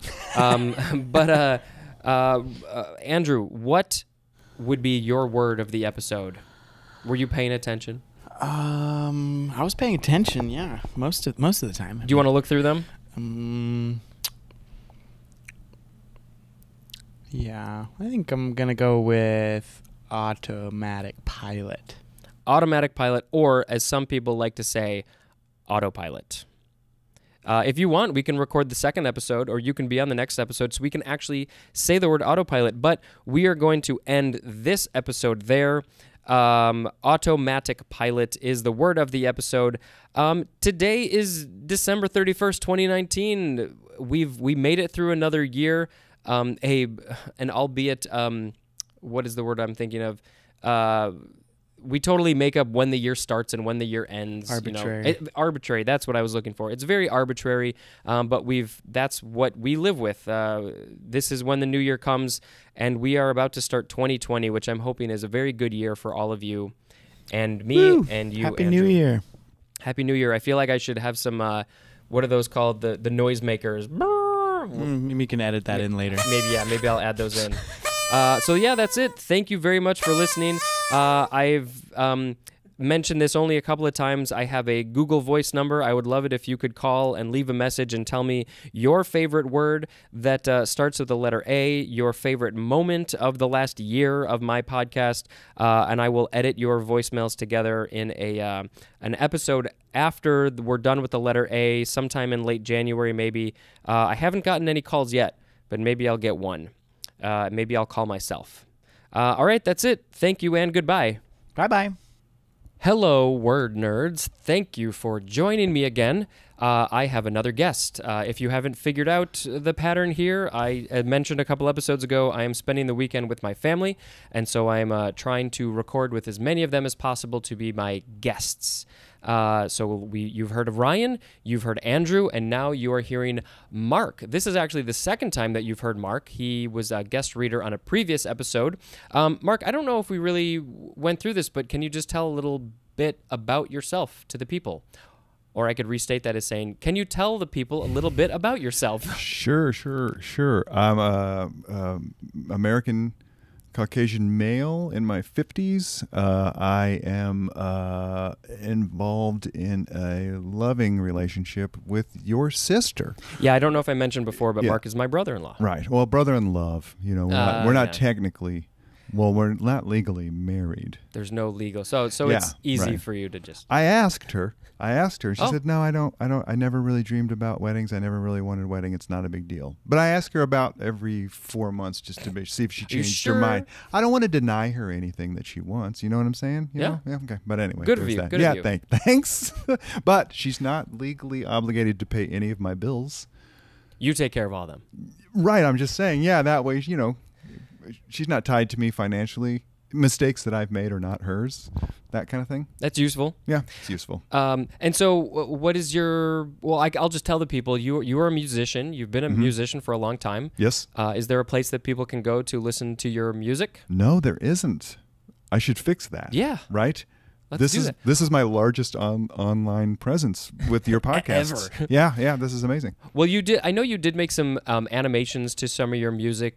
Are those still on YouTube, Oh, or did yeah, you get no, rid of those? They're on uh, Vimeo. Vimeo. yeah. All right. Well, maybe we'll have to put a link to those so uh, people can find them. Thank you for reminding me about that. did you forgot what well, you I- yeah, it was a weird time period in my life, and um, I, I actually don't remember the email address, Uh, the password, the username, nothing. Well- I can't get on that thing anymore. luckily, you don't need that for people to watch them. We just need to be able to find them, and then we'll give them their give them the link. But I have to say, the amount of work that he put into these Oh. these animations was insane. I mean, animation is crazy in general, but it was a lot of finding images, photoshopping them out, frame by frame creation of things. I mean, it, a lot of work was put into them, and Mm-hmm. Yeah, a uh, year. It takes like a year to yeah. do four minutes. I got a lot of appreciation for people who do that stuff. Oh yeah, It's a- yeah, yeah. and Well, you were you're just an animator, one so person. you know that. bit.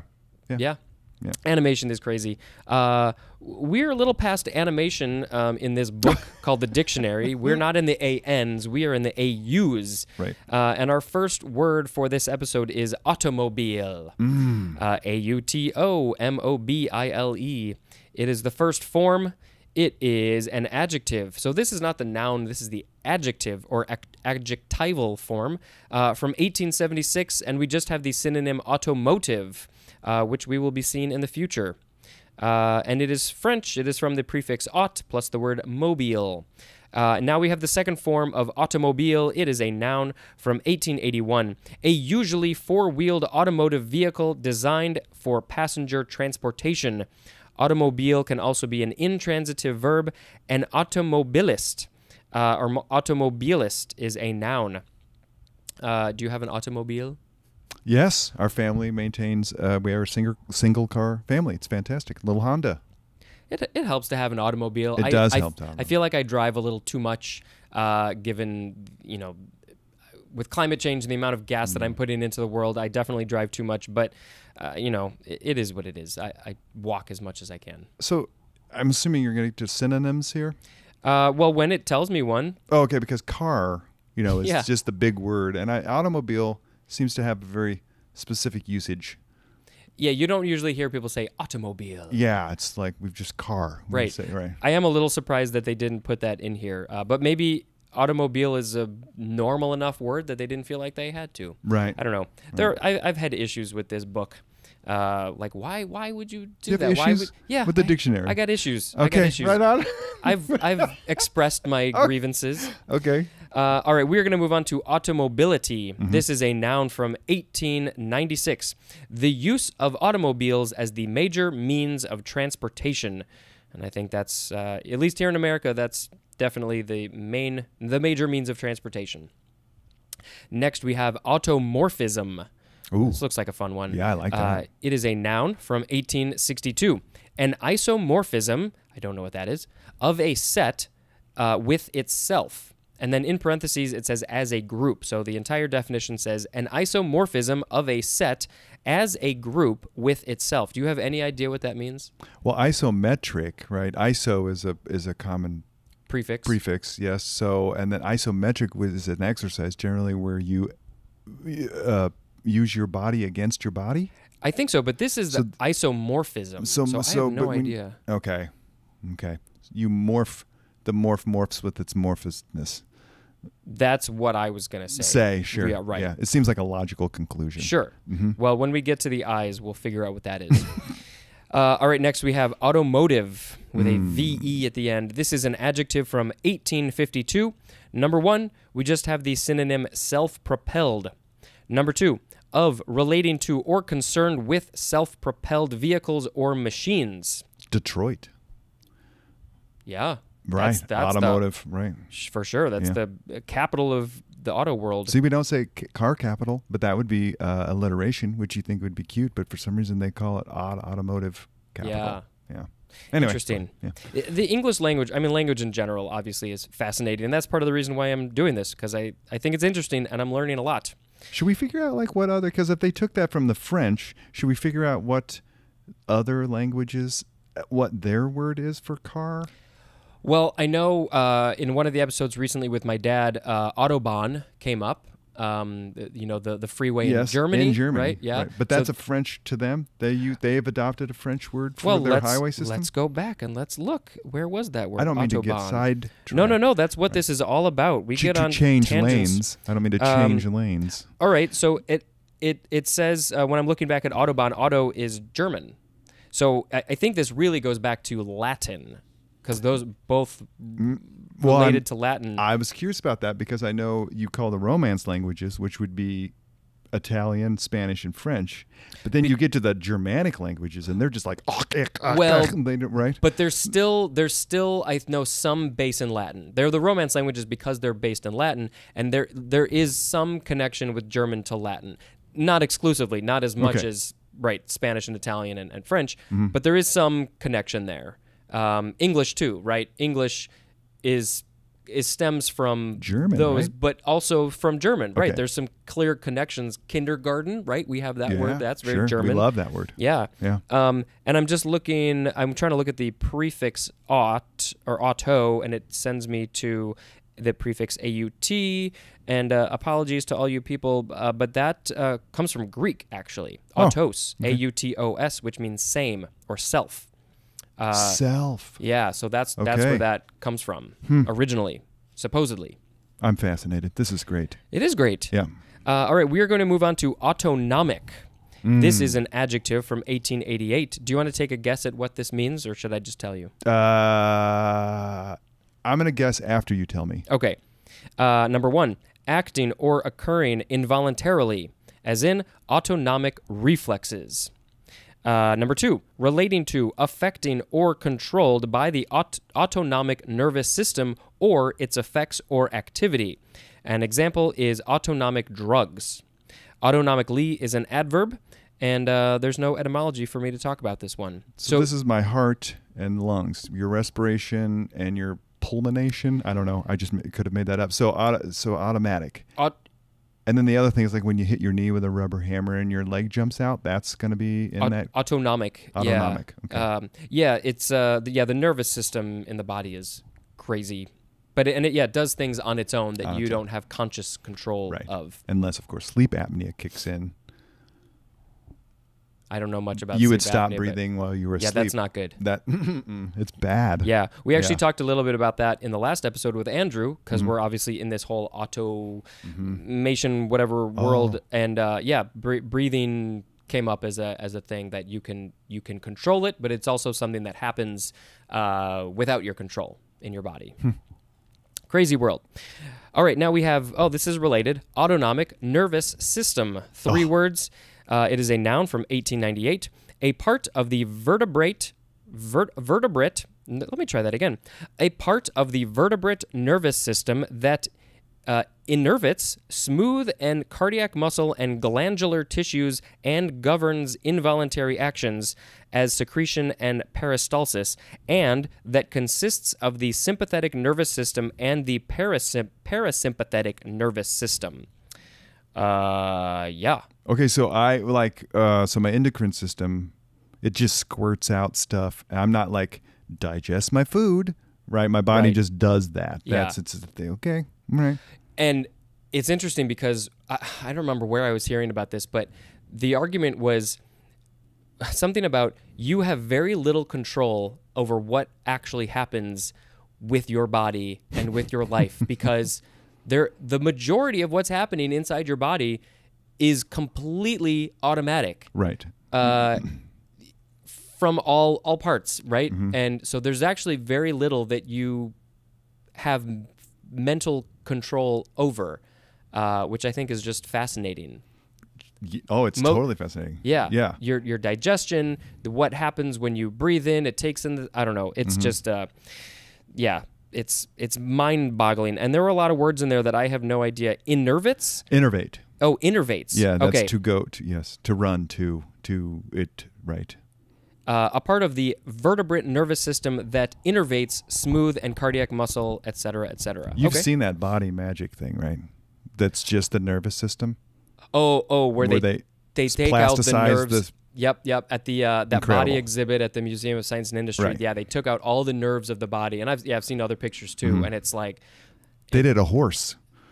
they yeah well that was Oh, that was the muscles. uh, yeah it was the muscles Mm-hmm. and the bones and all that yeah that was a very fascinating but disgusting exhibit. Yes. Did you? I thought it was interesting is that uh, they kept having these little plaques that said the reason this person's lungs are black is due to smoking, and I feel like everyone in there was a heavy smoker that they plasticized, and then I thought, well, you know, maybe smoking has benefited society on some level Because we get to see, See- what happens. Right, they yeah. die faster or something, and then donate their bodies to Yeah. science. Well, there was, I think that exhibit actually got a lot of flack because I think that they were taking some of the people might have been prisoners Ooh. who maybe didn't actually give permission to use their bodies or something like that. It wasn't everybody. Sure. Because I know that there were a lot of older people who had donated their bodies. Because I remember seeing a lot of you know metal hips and joints and Yes. things like that. Uh, yeah, and the lungs. Did they have a pregnant lady with the baby inside? There that one was, I think, that that really stirred people up. yeah, yeah, Right.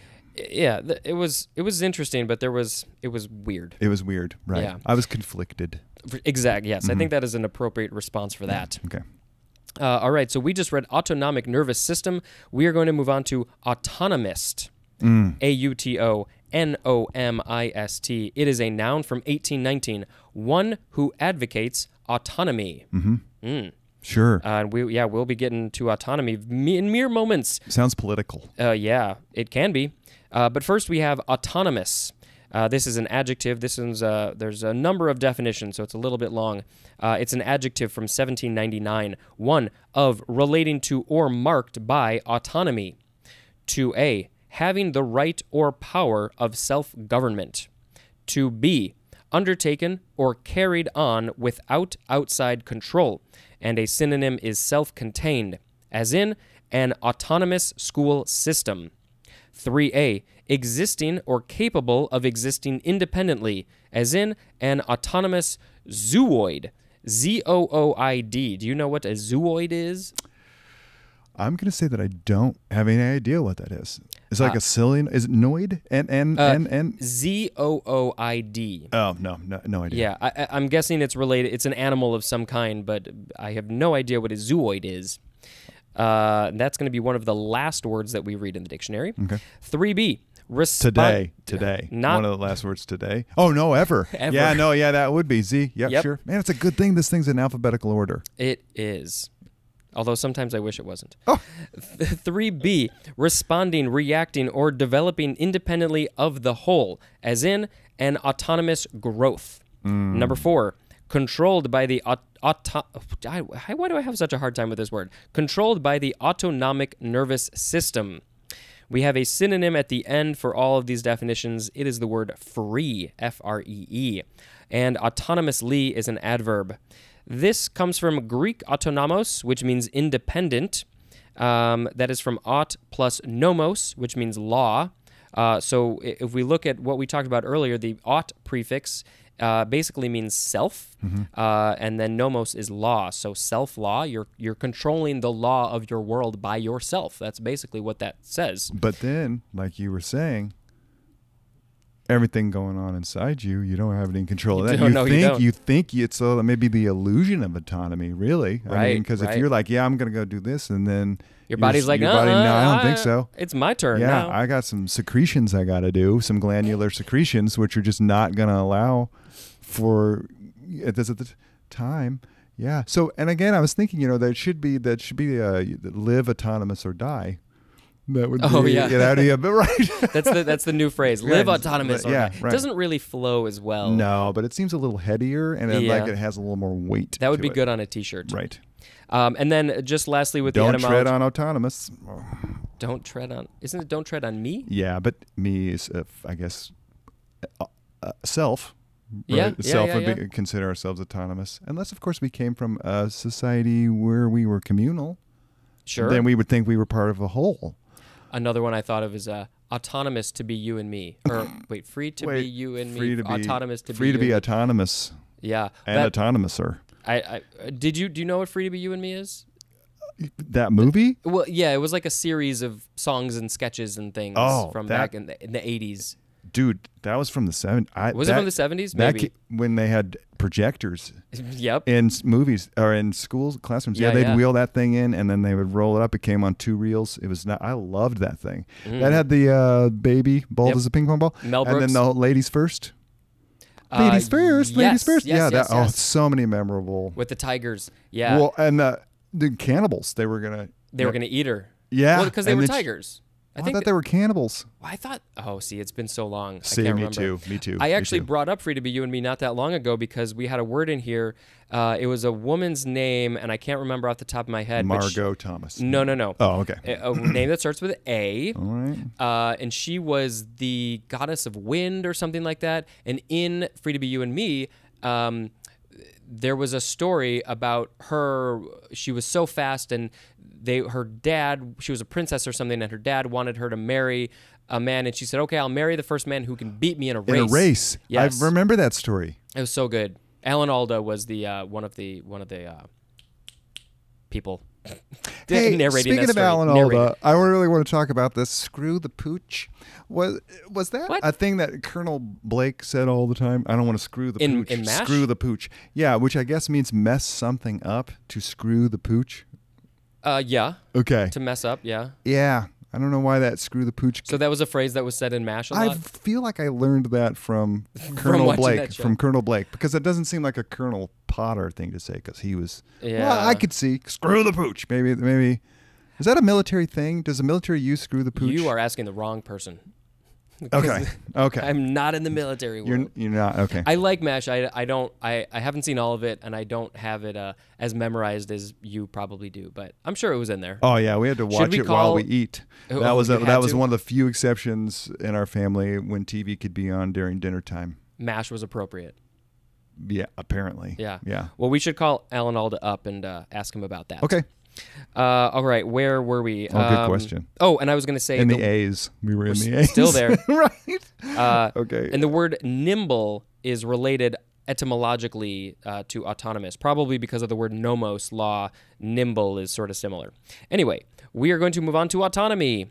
Uh, this is a noun from circa 1623. One, the quality or state of being self governing, especially the right of self government. Yep, you said it was political. Okay. Number two, self directing freedom and especially moral independence. Moral. Yeah. Number Whoa. number three, a self-governing state. Anything else you got to say about autonomy? Okay. No, we've had a lot of talk about that. Yes, Yeah, we have. okay, yeah. Uh, all right. Next, we have the word autopilot. Mm, Little that back- reminds me of the airplane movie. Oh yeah, yeah, yeah. Were All right, let's let's hold on to that. We'll Okay, get to that. But okay, I, quickly, okay. I want to say in the last episode uh, with Andrew, we had automatic pilot. Oh, and uh, and the synonym was autopilot. Uh, and we said people just say autopilot. Who says automatic pilot? Hmm. Anyway, uh, so autopilot is a noun from 1916.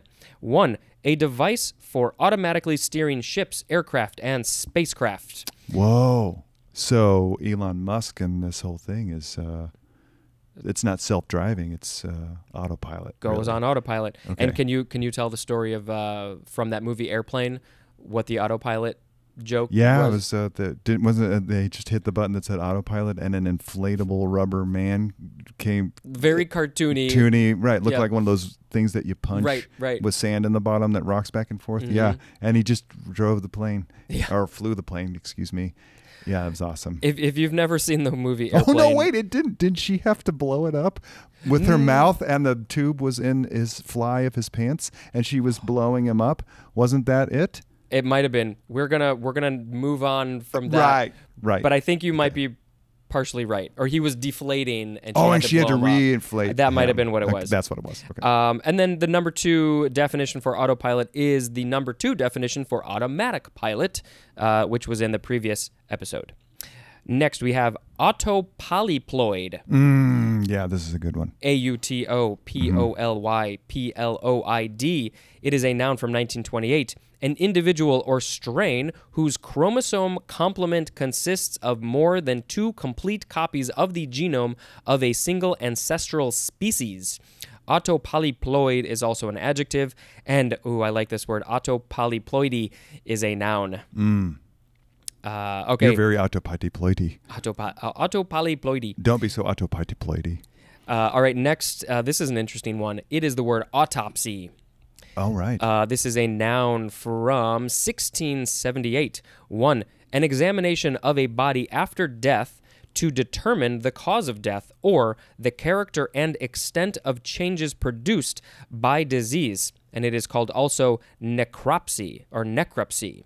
Um, we'll we'll just finish this up and then we'll talk about it. Number two, a critical examination, evaluation, or assessment uh, of someone or something past. Autopsy is also a transitive verb. Um, this is from the Greek autopsia, which means act of seeing with one's own eyes. And uh, that is actually the name of a documentary made by a guy who I think his first name was Stan. Anyway, um, it's basically a documentary of autopsies made in maybe the 70s or something. I saw part of it in a film class, and I had to end up looking away for most of it. Uh, it was really hard to watch. Um, my wife Sharon would have loved to watch that actually. Um, and yeah, the the name of the the documentary is "Act of Seeing with One's Own, One's Own Eyes," which is the Greek word autopsia, which it's an autopsy. Um, and then let's see, that is from aut plus opsis, which means sight or appearance, and there's more at the word optic. Uh, so yeah, for those who don't know, when an autopsy is done, um, they want to figure out the cause of death. They open the body up and figure out what happened. Why did this body die? Is this? I'm just I'm thinking about mummification really right now, uh, but that was not an autopsy. They No. they didn't really care why you died. They just wanted to make sure you got to the underworld. They, right they might have done autopsies for all we know, uh, for all I know at least. I don't know. Some, somebody knows. But yeah, that was mummification was when somebody died, they would take out all the organs and Mm-hmm. wrap the body, and so it was preserved for the afterlife, essentially. I Okay. guess. Yeah. A little but, bit. But little bit what is it called when you at a funeral home when they prepare your body right for uh, viewing? Similar. Well, I, th- I think a lot of. I was going to say something that I, I didn't want to. I don't know if I can back up. So yes, embalm. So that's when they uh, get rid of all the blood in the body and Mm-hmm. they replace it with embalming fluid, so the body doesn't uh, uh, deteriorate right away. So you can have an open casket funeral, essentially. Right. Right. What Yeah, do there's do no with reason- all that blood? Where does it go? Oh, you don't want to know. I don't want to know. I don't know. Well, then I didn't ask. Nope. Don't- okay. I'm sure they do something with it. Right. Actually, that is a good question. It's got to go somewhere. You should Google that. There's gold in blood, right? Wouldn't be surprised. okay. I mean, we're made up of lots of different molecules and Mm-hmm. things, so it there probably is. Okay. Well, anyway. All right, you. we're going to move on to autoradiogram. Uh, this is a noun from 1931, and we just have the synonym autoradiograph, which is our next word. It is a noun from 1903, an image produced on a photographic film or plate by the radiations from a radioactive substance in an object, which is in close contact with the emulsion. Uh, auto autoradiographic is an adjective. Autoradiography is a noun. Is that an X-ray? I think it's similar. Okay. Uh, like yes, a precursor, maybe. maybe, maybe. Mm-hmm. 1903. Uh, I don't remember when X-rays were figured out. Um, but yeah, they seem to be related. Do you think there's truth to the Tesla X-ray? That he was a person who was like, "Yeah, we can do that." Like he knew about that. Oh, you, you're talking about Nikolai, Nikolai, Tesla. Yes, yeah. I'm sorry. Yes, not the car Tesla. No, nope, nope, nope, nope, Uh, nope. I would not be surprised Okay. because that guy had uh, so many inventions and things that he had discussed or made plans of and never created and like things that we use today he had a hand in Mm-hmm. or things that we have now that he actually invented but didn't actually yeah so i wouldn't be surprised if he was involved with x-ray somehow And I don't know why we're still on X-ray. I'm sorry about this, but I feel like the guy who was finally got the right equipment to do it was just shooting it into everything. And didn't he kill his wife, over radiate his wife or something? And he like he kept taking pictures of his hand, and I- then his hand got all burnt up or something. Yeah, I think there was something about that. I think the the only thing that I know in regards to that is that he found X-rays by accident. Right. Yeah, they like he had film that was exposed to something accidentally, uh, and it and it developed into something, and that was the beginning of X-rays. But yeah, he I think he did something with his hand. I'm sure I'm sure I'm sure a lot of people were killed in that time period when Right. people were just experimenting like crazy, crazy, and who knows what they were they were doing. But yeah, uh, there, there's probably some truth to that. Okay. I, I always just remember being very scared as a child going to the dentist when they put that big. I, I haven't been to the dentist in years, so they probably don't have that big camera Oh, on sure a they do. swivel arm. Oh, yeah. That just and it comes down to Yep. a conical point, and they just I feel like they're just shooting a direct stream of radiation just into my mouth. Like, Oh, it, it- do, you still have to bite down on that? Yeah. Oh, all that stuff that's still the happens. because that's like the the film. I don't know if they use actual film anymore, but yeah, that's the thing that needs to get exposed. Oh, but it feels so good when they shoot you with those X-rays. I dude, I quit going to the dentist because of that Ah. process.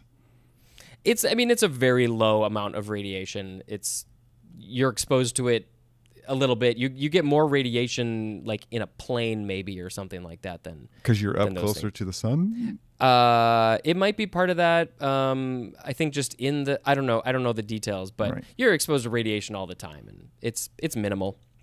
But the people who work there, who are exposed to it, Yeah, they every leave the room. Well, right, because they be, because they're exposed to it so often. Uh-huh. When you go once or twice a year, Yeah. it's not that much. Right. Okay. But maybe some people are more sensitive to it. Um, all right, we're getting near the end of this episode, people. We're, we're very close. Auto rotation is next. It is a noun from 1926. The turning of the rotor of an autogyro or a helicopter with the resulting lift caused solely by the aerodynamic forces induced by motion of the rotor along its flight path. Auto rotate is a uh, an in, an intransitive verb, and I think it was in the episode with Ryan two episodes ago. We had the word auto gyro. Um, so yeah, that which is basically a helicopter. I love helicopters. I really want to go in a helicopter ride. When Sharon and I were in New Zealand, uh, we had the opportunity. Uh, it's a long story. We could we could choose either to fly in a little small little plane to get back to our hotel quickly, or in a helicopter because we didn't want to sit in the like eight hour bus ride again. Right. Um, we we wanted we should have chosen the helicopter. It was a lot more expensive. Yes. So we chose the plane Yes. uh, which was still amazing. Okay. Um, but the helicopter would have been cool because then they would have landed us on a glacier and we could like look at the views and oh, it would have been yeah, awesome. uh, al- almost any time the helicopter is an option and Take I it. can afford it, I take. Yeah, because we were in St. Lucia. Your sister oh yeah. and I were in St. Lucia, and then they did the same thing. They're like, "Oh, do you want?" Like they scare the crap out of you driving you from the airport to the uh, resort, which In that know- tiny little plane. Yeah, yeah. Oh, driving yeah. you. No, Yeah, I yeah, yeah. driving you, and then That's and you're like, whoa, and it's like, right. It feels like you're gonna. There's cliffs, and you feel like you're just. It's Deadville. You're just doomed, right? Mhm. And then they you get they get you there, and they're like, hey, you want to drive back, or can we take you in a helicopter? And then the idea of being flung through the air seems less intimidating than having to drive back on the ground. It's weird. But anyway, it's beautiful when you get up there. So you did take the helicopter? Yeah, we took the helicopter. Oh. Yeah, because it was uh, it was, it was late in this. It was off season, Mm. and like somebody had they, they offered some special. You know how the internet is. They say, "Hey, we have these things," and then you pay for hardly any money, and you get there. And so we were like, "Well, we'll just eat that up by taking the helicopter ride Mhm. back." Yeah, I mean, nice. yeah, if it's cheap, then do it. yeah. All right, next is auto route. Then goes for everything. If it's cheap, do it. Just do it. Yeah, just do it. It doesn't matter what it is, as long as it's not expensive. Just do it. Right. Even yeah, if yeah. you don't like it, it. Uh, okay, auto route or auto route is next. Uh, it is a noun from 1951, an expressway, especially in France. So I Mm. guess their uh, most of their expressways in France are called auto routes or auto routes. Uh, and Uh, it was interesting that Le Car it was not called the La Auto. If we're gonna, it's so much French connection between auto. Le car? Yeah, remember Le Car? No. You don't remember those things? What's that? Oh, they were so cute. Is that a French car? It's like the Renault of its time. Yeah, it was a Uh, French car. From when? Before my time? Well, I started playing Dungeons and Dragons in second grade, so I remember that the guy who owned the comic book fantasy Dungeons and Dragons store had a Car, Mm. and it was parked in the strip mall. Uh, so it had to be around that time period. So that was actually a French car. Le Car. It said. Le Car on the car. It Seems like they didn't try too hard. That had racing stripes that went down it, and then the racing stripes, I feel, incorporated Le Car. Mm, yeah, yeah, yeah. Right. They were tiny. I'm not a car guy, so I don't know about Or this, them? but Okay. I should look up a picture. Yeah. Le Car. Next, we have Autos da Fe. I think we had a similar one. De in, Fe. Yeah, so that this sounds is French. A U T O S hyphen D A hyphen F E, and there's an accent on the E. Uh, oh, so this is the plural of auto da fe, which was in an episode with my dad a few days ago. Um, yep, it is, just to remind you, the ceremony for pronouncing judgment by the Inquisition, which was followed by the execution of sentence by secular authorities, broadly, the burning of a heretic. Okay, so this- that and that's not cute at all. I was thinking it was a kind of a cute little word because you think of duvet, that seems Right. comfy. You hear duvet, and then but it, this is you're killing someone. You're Yeah. passing judgment on them Not cute. And then killing them. Uh, Wow. and that is uh, Portuguese, oh right. it literally act of the faith. Have you heard people speak Portuguese before? Oh yeah, a little bit. Yeah, It's like it's like weird Spanish.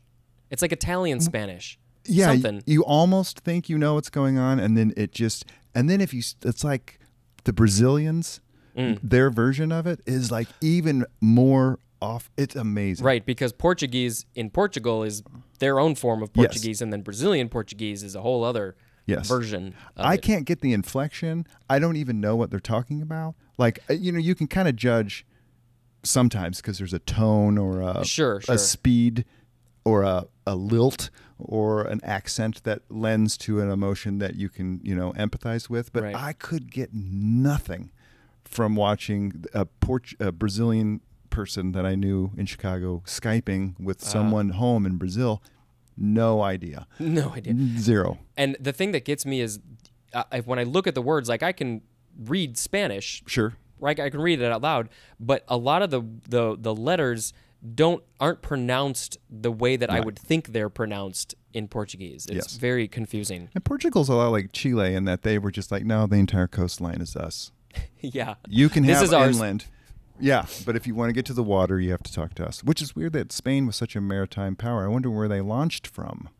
I mean, Spain still has a good amount of I guess coastal it does. Right. area. It all right. Yeah, yeah. Yeah. North and south. North and south. Right. Yeah. All right, are you ready for the last word?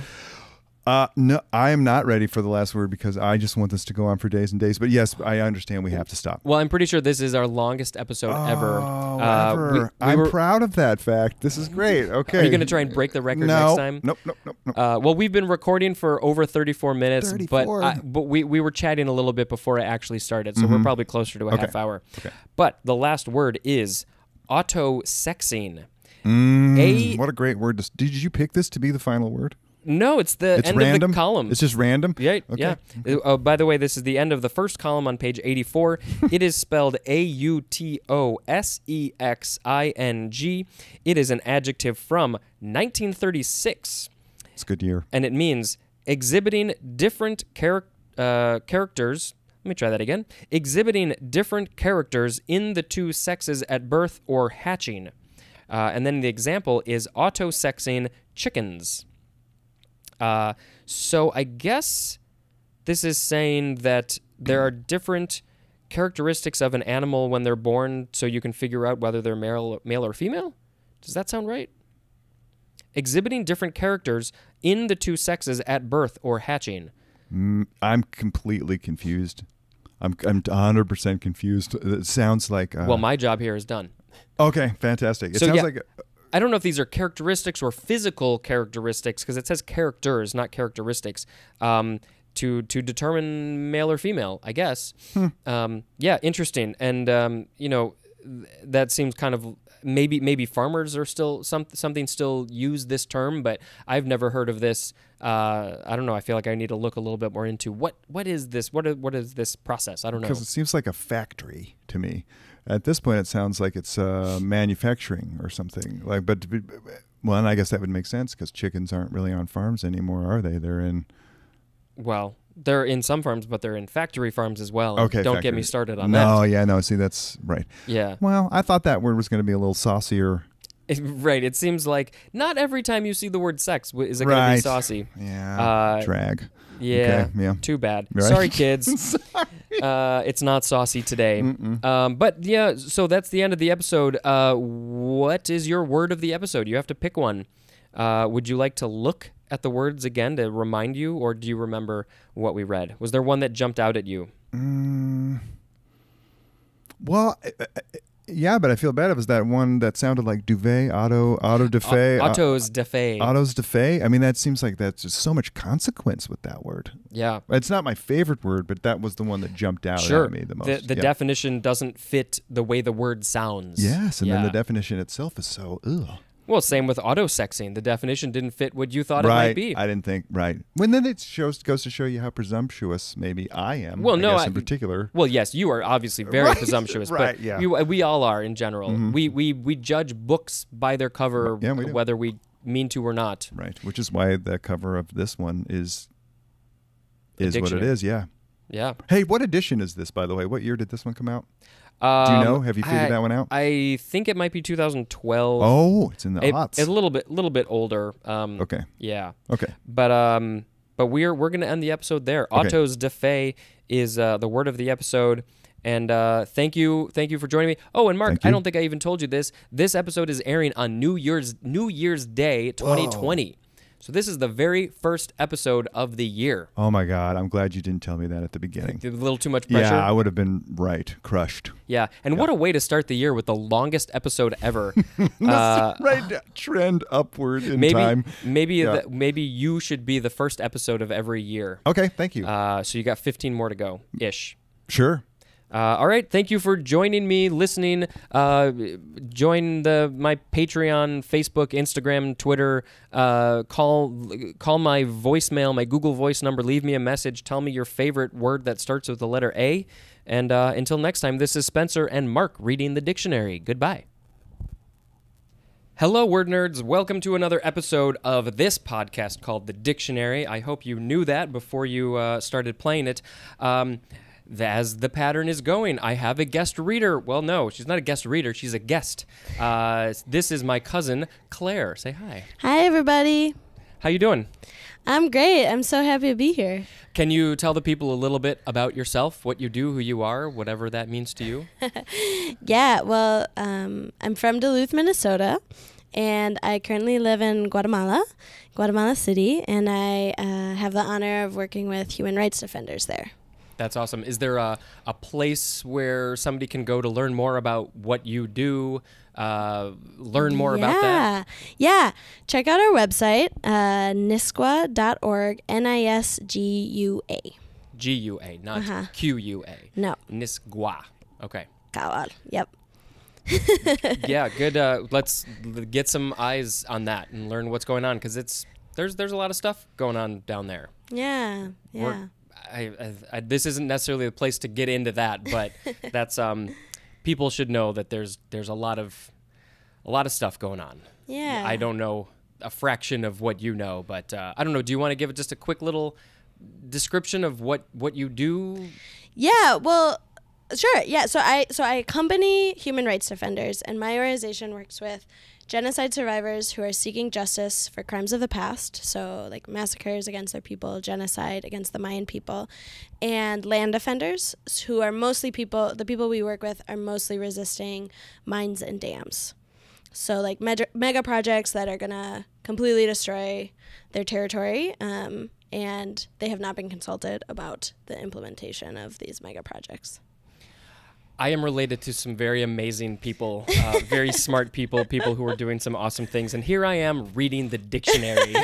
I'm so glad to be here. oh, I, I'm glad to have you. Uh, I love this is why I like having guests on because uh, it just brings a new perspective, a new voice, a new brain to this whole thing. Uh, so we are going to be reading the third section of the pa- of page 84, uh, and uh, our first word is autosome. A U T O S O M E. Uh, you may have no connection to any of these words. You may have nothing to say, uh, but we're just going to sort of jump in and figure it out. Uh, all right, so autosome is a, actually, it's autosome. Apologies, autosome. Uh, it is a noun from 1906, a chromosome other than a sex chromosome. Uh, so I guess a sex chromosome would be X and Y. Uh, that's typically what they say, but there are other chromosomes that are uh, not X or Y. That's kind of the, as far as my knowledge goes in that world. Uh, autosomal is an adjective, and autosomally is an adverb. Yeah, let's move on to autostrata. Uh, autostrada with a D. Uh, this is a noun from, where's the year? 1927.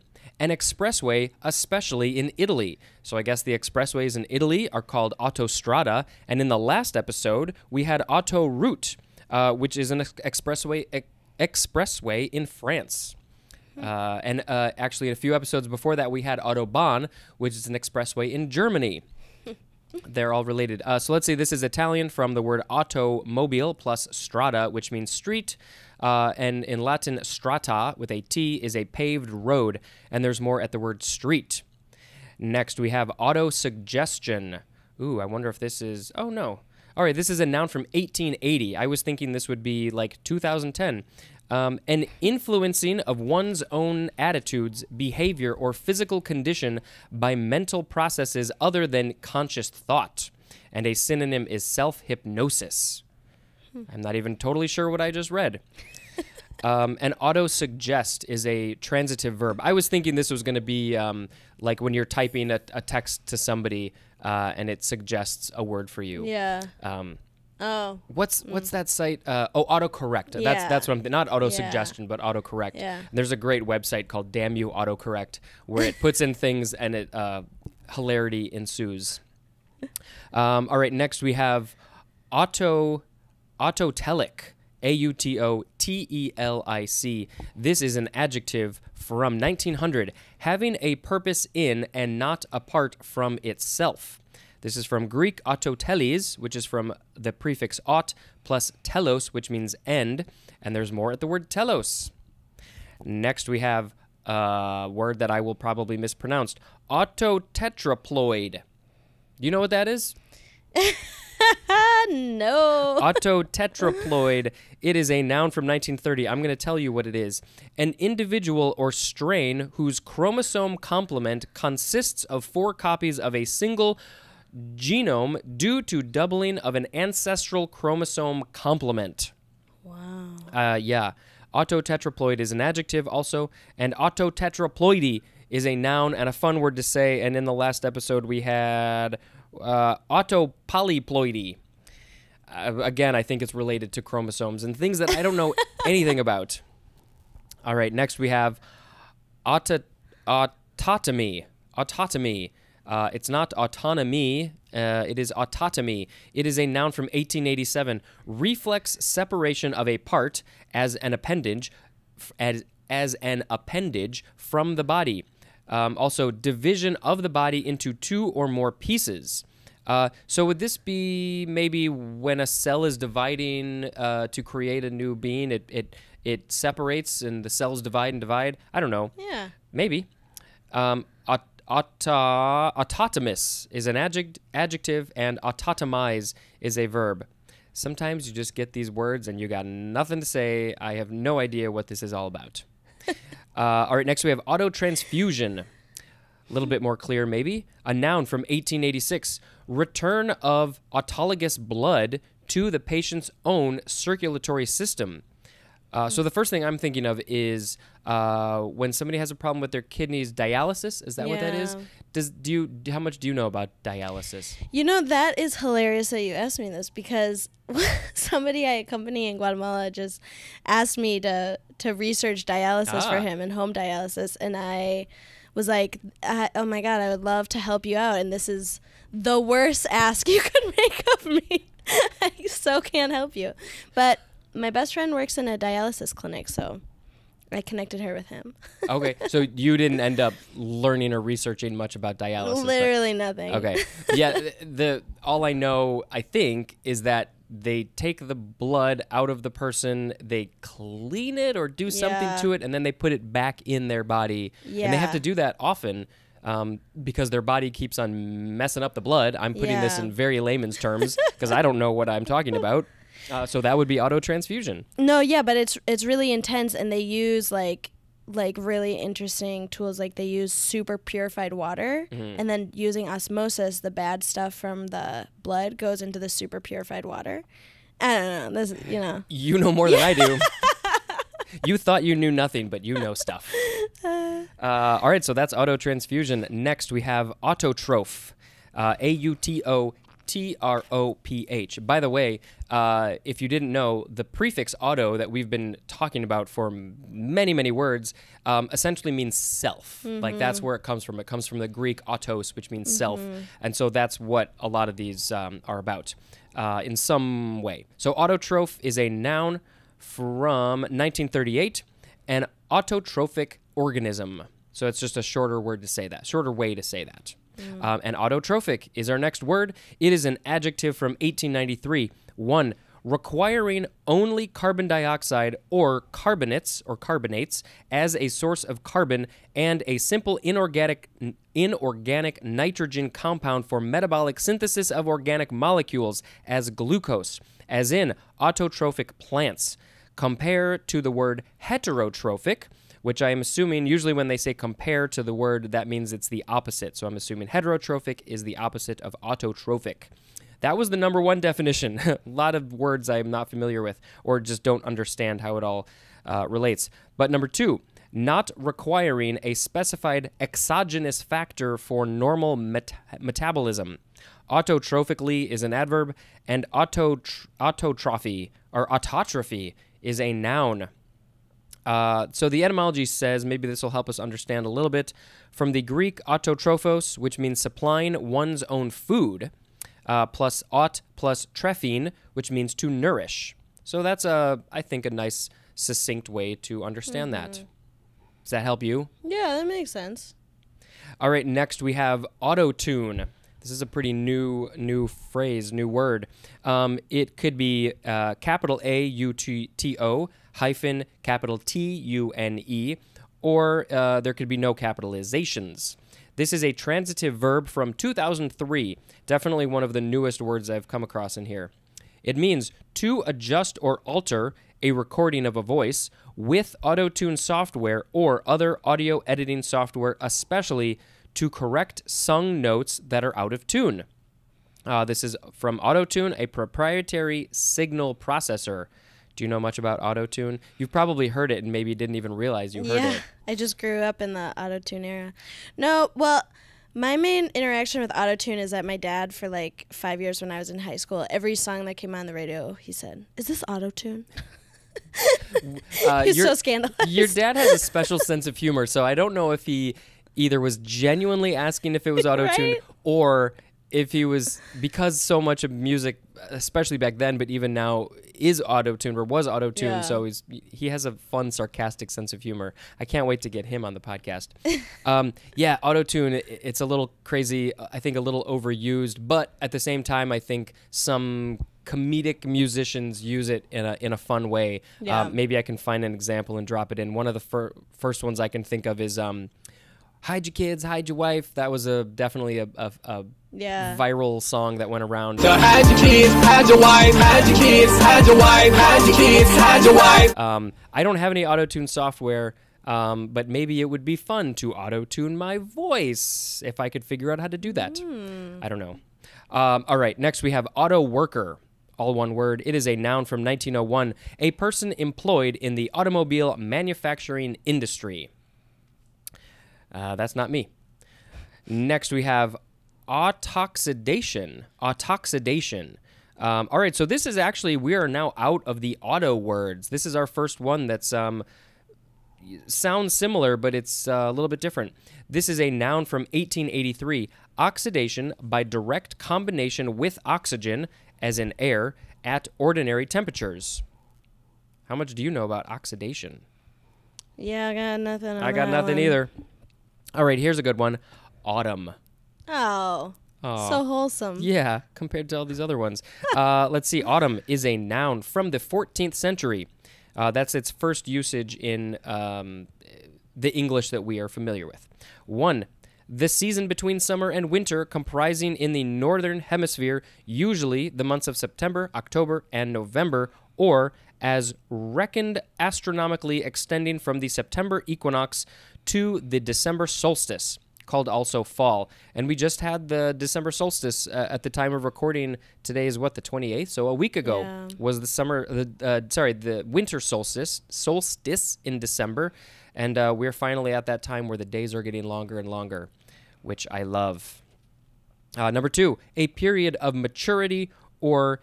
Uh, uh, this word goes over to the second line, or incipient decline, as in the autumn of life. Autumnal is an adjective, and autumn autumnally. How do you say that? Aut- autumnally is an adverb. I have I I get stumped every once in a while. How would you use that in a sentence? Autumnally. Uh, I don't know. she was walking along autumnally. Yeah, you know what? I've had that same question for a lot of these adverb forms. I'm like, Yeah, do people really use that in a sentence? It is, I guess technically it's a word, but how has it ever been used? Maybe it would be like the leaves are falling autumnally. Oh, interesting. Uh, I'm looking out the window right now, and there's not a single leaf on that tree. Oh, man. so we are well past autumn. Uh, I, I think that is my favorite time of year. Yeah. I don't know about you, but yeah, it's it's not too cold, not too hot. You if you get a little too cold, you can bundle up. Uh, it's beautiful out. The the the leaves are changing color and uh, Halloween is that's our favorite time, favorite Halloween, our favorite favorite holiday. oh, okay. Yeah, that's the one thing I climate related thing I don't like about living in Guatemala is that there's no autumn. Seasons. Yeah. Do you? Yeah. So what's the range of temperatures throughout the year? I mean, how far away are you from the, the, the equator? Um. So okay. So I'm kind of on. I'm. It's, I'm only a little bit south of Florida, so it's it's really not that far south. Like people are always really surprised by how close it is, but um, I live in Guatemala City, which is like 70s and sunny all year round, which is great. Mm-hmm. But for like five months out of the year, there's the rainy season. Oh, okay. So that just means that in the afternoon and night it rains like a ton. Mm-hmm. But um, right now there's like three weeks around the turn of the year that are kind of cold, and by cold I mean like 50s. I would really kill spoiled. for 50s. I mean, in Chicago, the last week or so, it's been in the 30s, 40s, and 50s. And I'm like, this is amazing. I mean, granted, climate change, I'm not a fan of that, but Yeah. it's it's beautiful compared to what we had, which was the 10s or the 20s. I mean, and you grew up in Minnesota, so you're like, oh, that's nothing. Balmy. Yeah, really. but if it's above freezing, I'm happy. I can't really deal with the cold weather anymore. Yeah. Um, Come move to Guatemala. I would love to visit. We were talking about uh, this is not Guatemala, but we were talking about the Galapagos Islands. Your your brother Joel went to the Galapagos, and I would love to go visit there. But that's off the coast of Ecuador. Yeah. How far away is that from Guatemala? Um. Well, I don't know mile wise, but um, pretty far. I mean, I feel I don't know. Maybe I'm totally wrong on this, but I feel like Guatemala is maybe right in the middle. Of Between, Central like, America. Well, well, like between Chicago and Ecuador, that Guatemala would be kind Oh, of right okay. in the middle. Yeah. Interesting. Yeah, that seems a lot further away than I would have expected. I should look at a map. Yeah. You Yeah, think of uh, all of Central America as being close together, you know, smaller countries, but yeah. Mexico is huge. So first of all, Yeah. they're way further away from us than we think. Um, and yeah, the, it's it's not as small, I, I think, as people think. Yeah. That that area, at Totally. least. Yeah. Totally. All right. Well, we have one more for this episode. It is autumn crocus. C R O C U S. Two separate words. Do you have any idea what this is? Autumn crocus. It makes me think of a, a flower, like a crocus flower that just comes out in autumn. Autumnally. Blo- ooh, yeah, that would be perfect. Um, all right, so I, I don't think you're that far off. Um, it is a noun from 1822, an autumn blooming col colchicum, C O L C H I C U M, colchicum. Do you have any idea what that is? Yeah. An autumn blooming colchicum. Yeah, you said it perfectly. Uh, I I think it's some sort of plant. Um, the scientific name is Colchicum autumnale. Autumnale. So that's Oh, what that's that is. hilarious. Um, w- I, we'll need to look up uh, what that looks like. Um, but you were basically spot on for that. um, all right. So looking back at all the words that we talked about, was there one that jumped out at you uh, that you would want to pick as the word of the episode?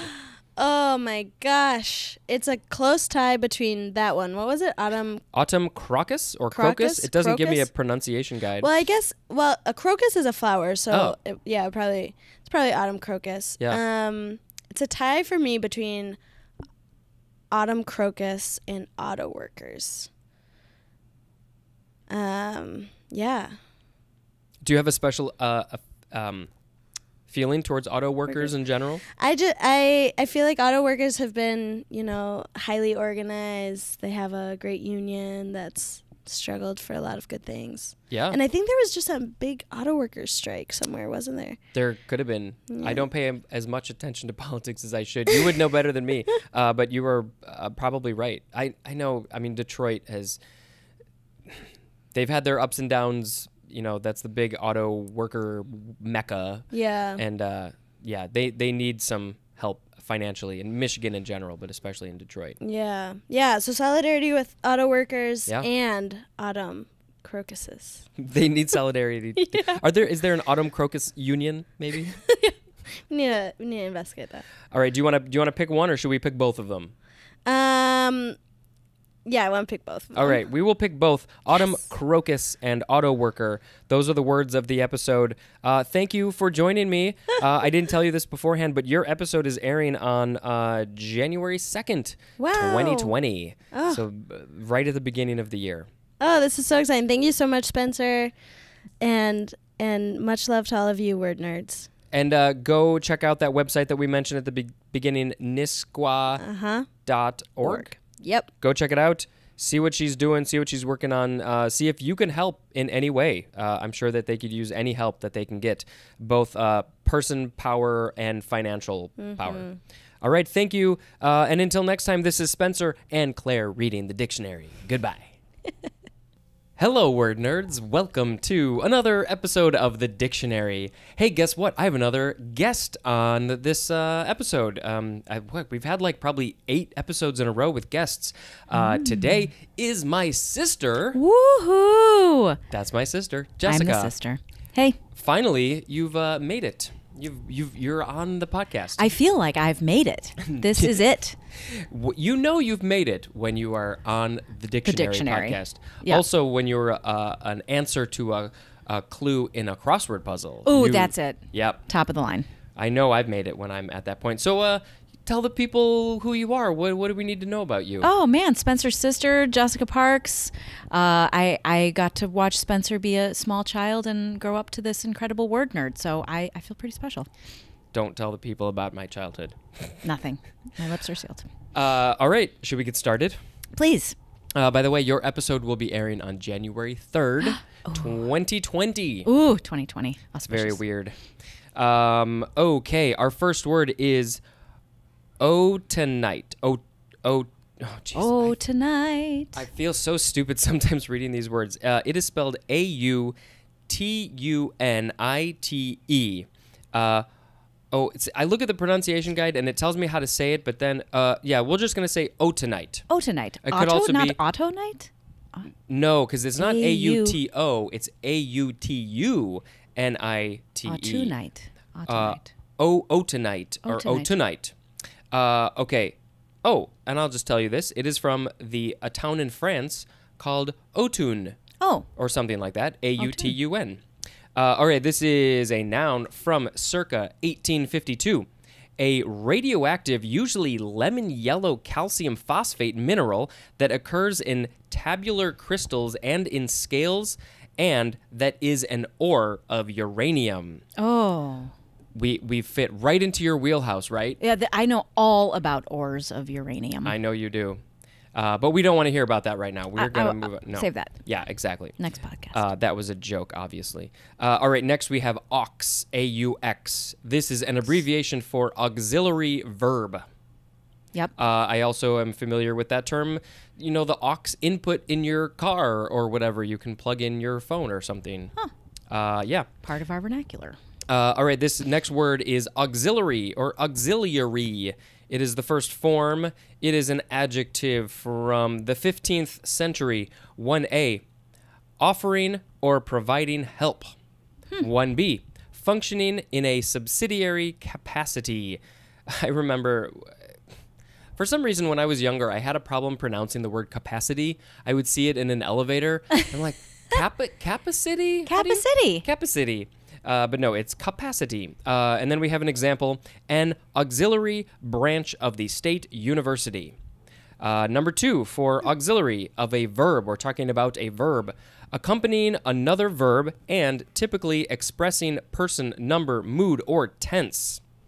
All right, 3a, we just have the synonym supplementary. 3b, constituting a reserve, as in an auxiliary power plant.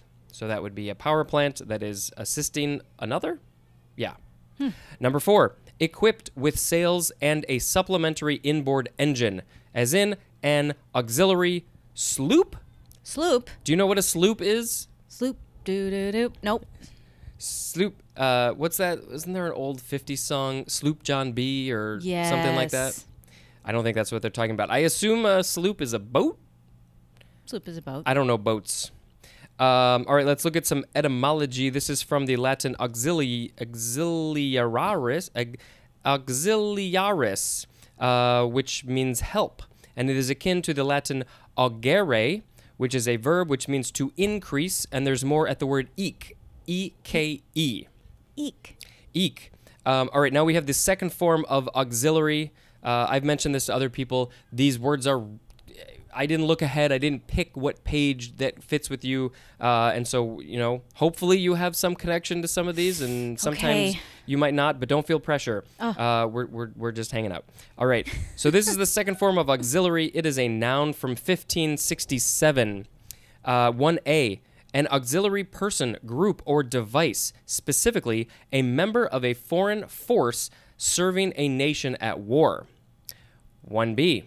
A Roman Catholic titular bishop assisting a diocesan bishop and not having the right of succession, called also auxiliary bishop. Do you know if, did I pronounce that word correctly? Diocesan? Diocesan, I don't know, but tit- titular? Titular. Titular is a new word to me that I recently learned, and Oh. I think it's fun to say. It is fun to say. What, what, like, what was the context that you learned it? It, it- in? something about like the titular character or the Yeah. the title character, basically, right? Right. The main character. Yep. I did not know that word until recently. Now you know. But the other word was dios. Yeah, I think it might have come up in an old uh, definition too. Uh, where did it go?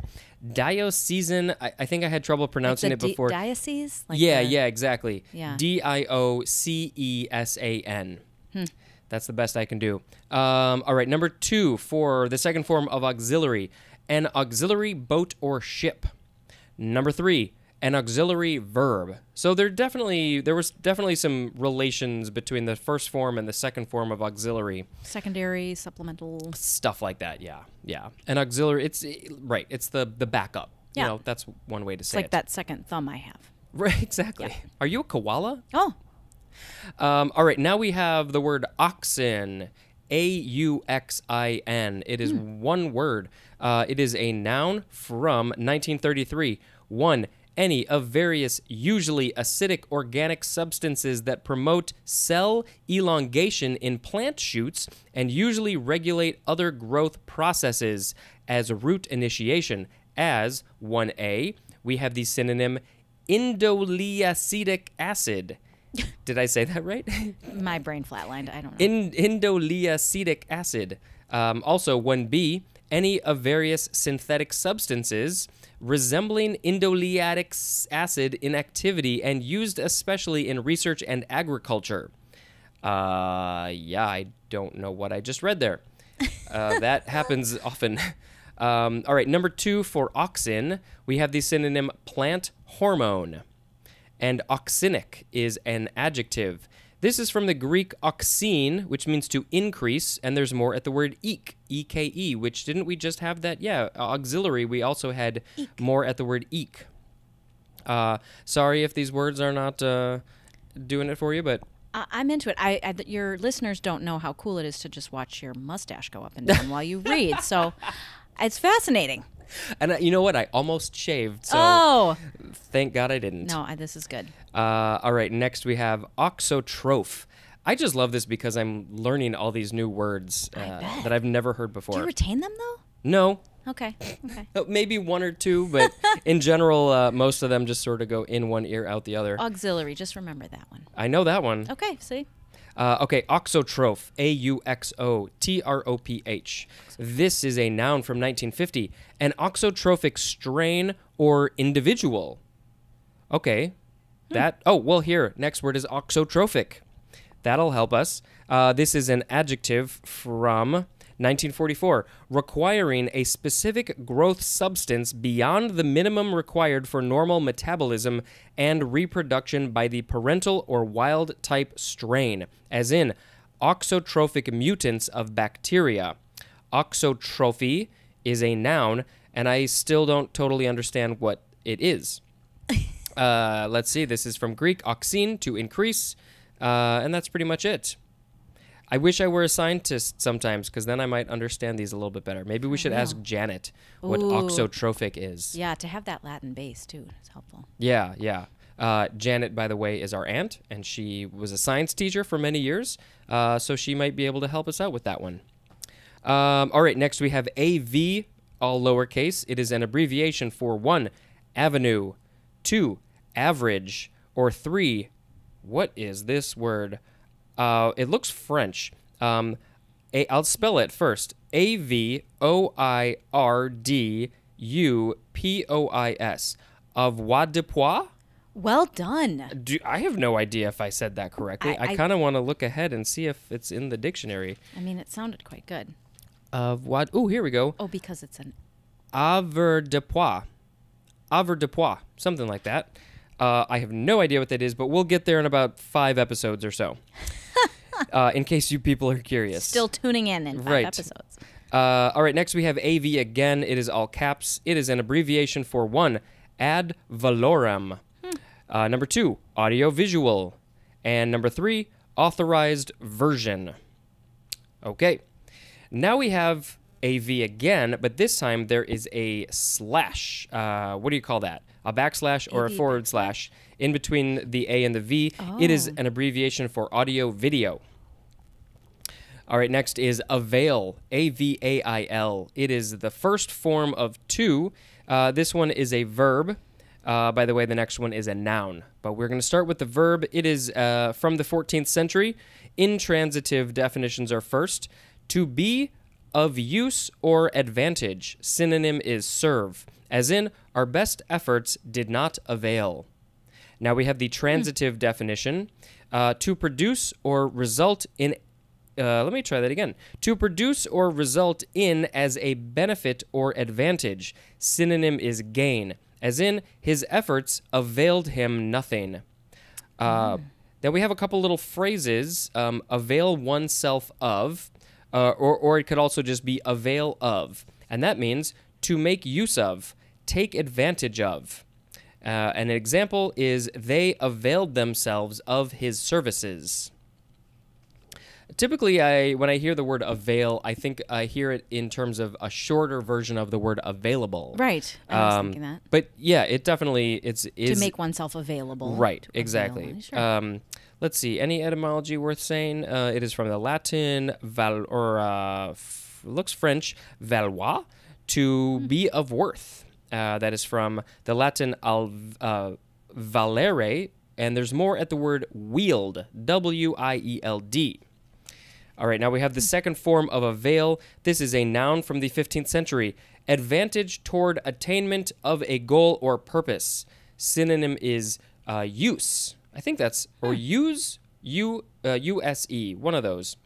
Um, as in, effort was of little avail. That's all I got for that one. Next is availability. This is a noun from 1803. One, the quality or state of being available. Number two, an available person or thing. Which is why Spencer brought me up here. I happened to be available. You were available. You were standing around, staring off into space, not doing anything. And I said, hey, you want to record? And you said, okay. I did. Uh, as as I've mentioned a couple episodes ago, we are here for the weekend with uh, our dad's side of the family. There's twenty, oh, over twenty of us. Over. And uh, you know, this is what we do around Christmas time. We get a house for the weekend, and we just hang out and uh, Read the dictionary. Read the dictionary. This is a, tr- a tradition. um, we also We're play so fun.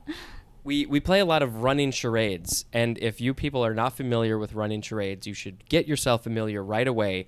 This is something that we stole from the TV show Mad About You, and uh, basically it's charades, but there are two teams in different rooms, and the clue givers are in the middle.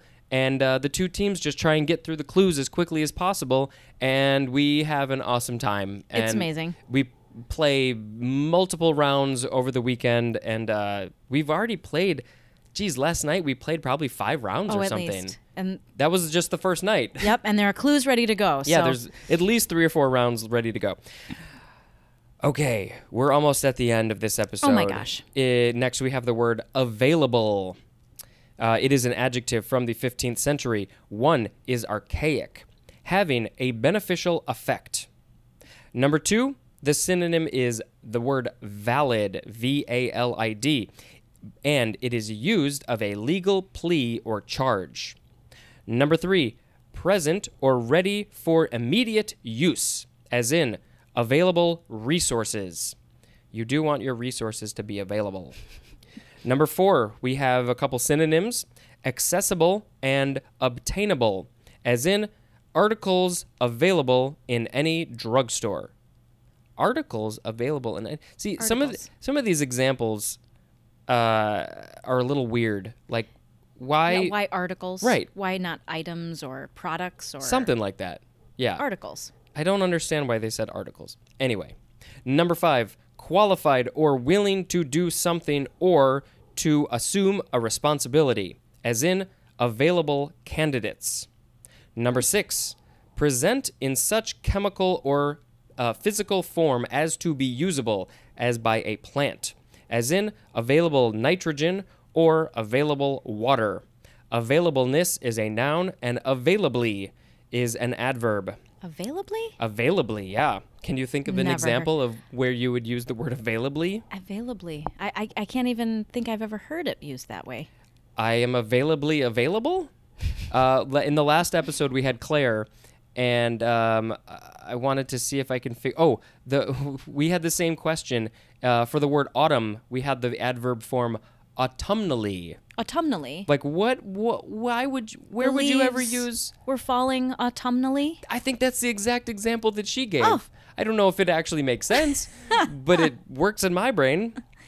Uh, yeah, it's a weird. There are weird words. Um, all right, we have one more. One more for this episode. It is the first form of the word avalanche. A V A L A N C H E. It is a noun from 1744. 1. A large mass of snow, ice, earth, rock, or other material in swift motion down a mountainside or over a precipice. Number 2. A sudden great or overwhelming rush or accumulation of something, as in hit by an avalanche of paperwork. Number three, a cumulative process in which photons or accelerated charge carriers produce additional photons or charge carriers through collisions, as with gas molecules. Have you ever seen video of an avalanche? A, a, molec- a molecular No, avalanche? a snow avalanche. Oh yeah, amazing. it's uh, nature is crazy. The the fact that stuff, it's like the, I don't even know what speeds they can hit, but it's something insane, and you don't Yeah, don't want to be wanna be anywhere nearby. And I will say that precipice may be one of my favorite words. That's a good word. I, I know you'll get to that in a few years, but Yeah. I'm looking forward. Uh, if- for those who don't know, it is spelled P R E C I P I C E. I want uh, a recipe to make a precipice. I don't know. um, so I didn't warn you about this, but now I want you to pick a word of the episode.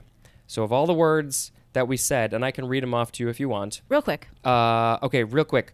Autunite, ox, auxiliary, auxin, auxotroph, auxotrophic, AV, AV, AV, avail, um, availability, available, and avalanche. Whatever criteria you want. I, I'm going to say availability because it just, that word is maybe the most available to me. It has great availability. Yes, yes. Compared to a lot of the other ones in this episode, uh, availability is much more available to my little brain. Mine little brain too. Cool. Well, thank you for joining me. Do you have anything that you want to uh, tell the people about, to plug, to whatever? I, I appreciate this uh, opportunity to sit here and listen to words. I, I hope that there are folks hearing Spencer's voice. It, it's quite a good one. I well, if if you're listening to this, you're definitely hearing both of our voices, and uh, yeah, this was fun. I've been having a good time uh, having these guests. I, I changed up the the method. If you don't know, um, I had guest readers read before, and now I'm doing the reading. But we're we have a little conversation, and I, I think it works much better. Thank way. for having me. Thank you. Uh, I think you did a great job, and we've got a lot of pages. I'll be back. yes, you will be back. Uh, all right. This is uh, what is my sign-off phrase? Thank you for joining me, and as usual, this is Spencer and Jessica reading the dictionary. Goodbye. Uh, goodbye. Hello, word nerds, and welcome to another episode of the dictionary. Uh, I am sitting here with my aunt Janet. Aunt Janet, uh, how are you? I'm doing great, Spencer. So uh, the regular listeners from uh, the past week, uh, five days or so of uh, episodes, they've heard uh, both of your sons, Ryan and Andrew. Uh-huh. Uh, they've heard Mark, they've heard Claire, they've heard Jessica, uh, and my dad was before that. Uh, so now they get to hear you. I did not want to be left out. No, we didn't want you to because uh, I think you have a special viewpoint on the world. Uh, so can you just tell us a little bit about who you are and what do we need to know about you? Sure. Well, I'm a relationship coach.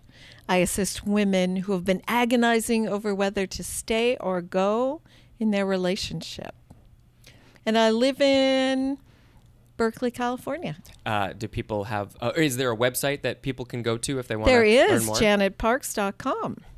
go check it out if you feel like you feel like you connect with that in some way. Go check it out. Thank you. All right, let's talk about some words. Words. Uh, all right, our first word is the second form of avalanche. Uh, the end of the previous episode had the first form, A V A L A N C H E. It is a verb from 1855.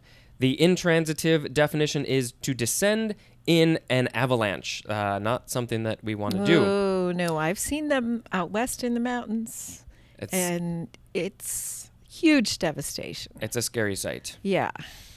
Uh, so you don't want to be avalanched. Um, and then the transitive verbs uh, just has these synonyms overwhelm and flood. Uh, all right, next we have Avalon with a capital A. It is a noun from the 13th century, a paradise to which Arthur is carried after his death. Uh, is that King Arthur, do you think? That's what it sounds like, but I never heard of this.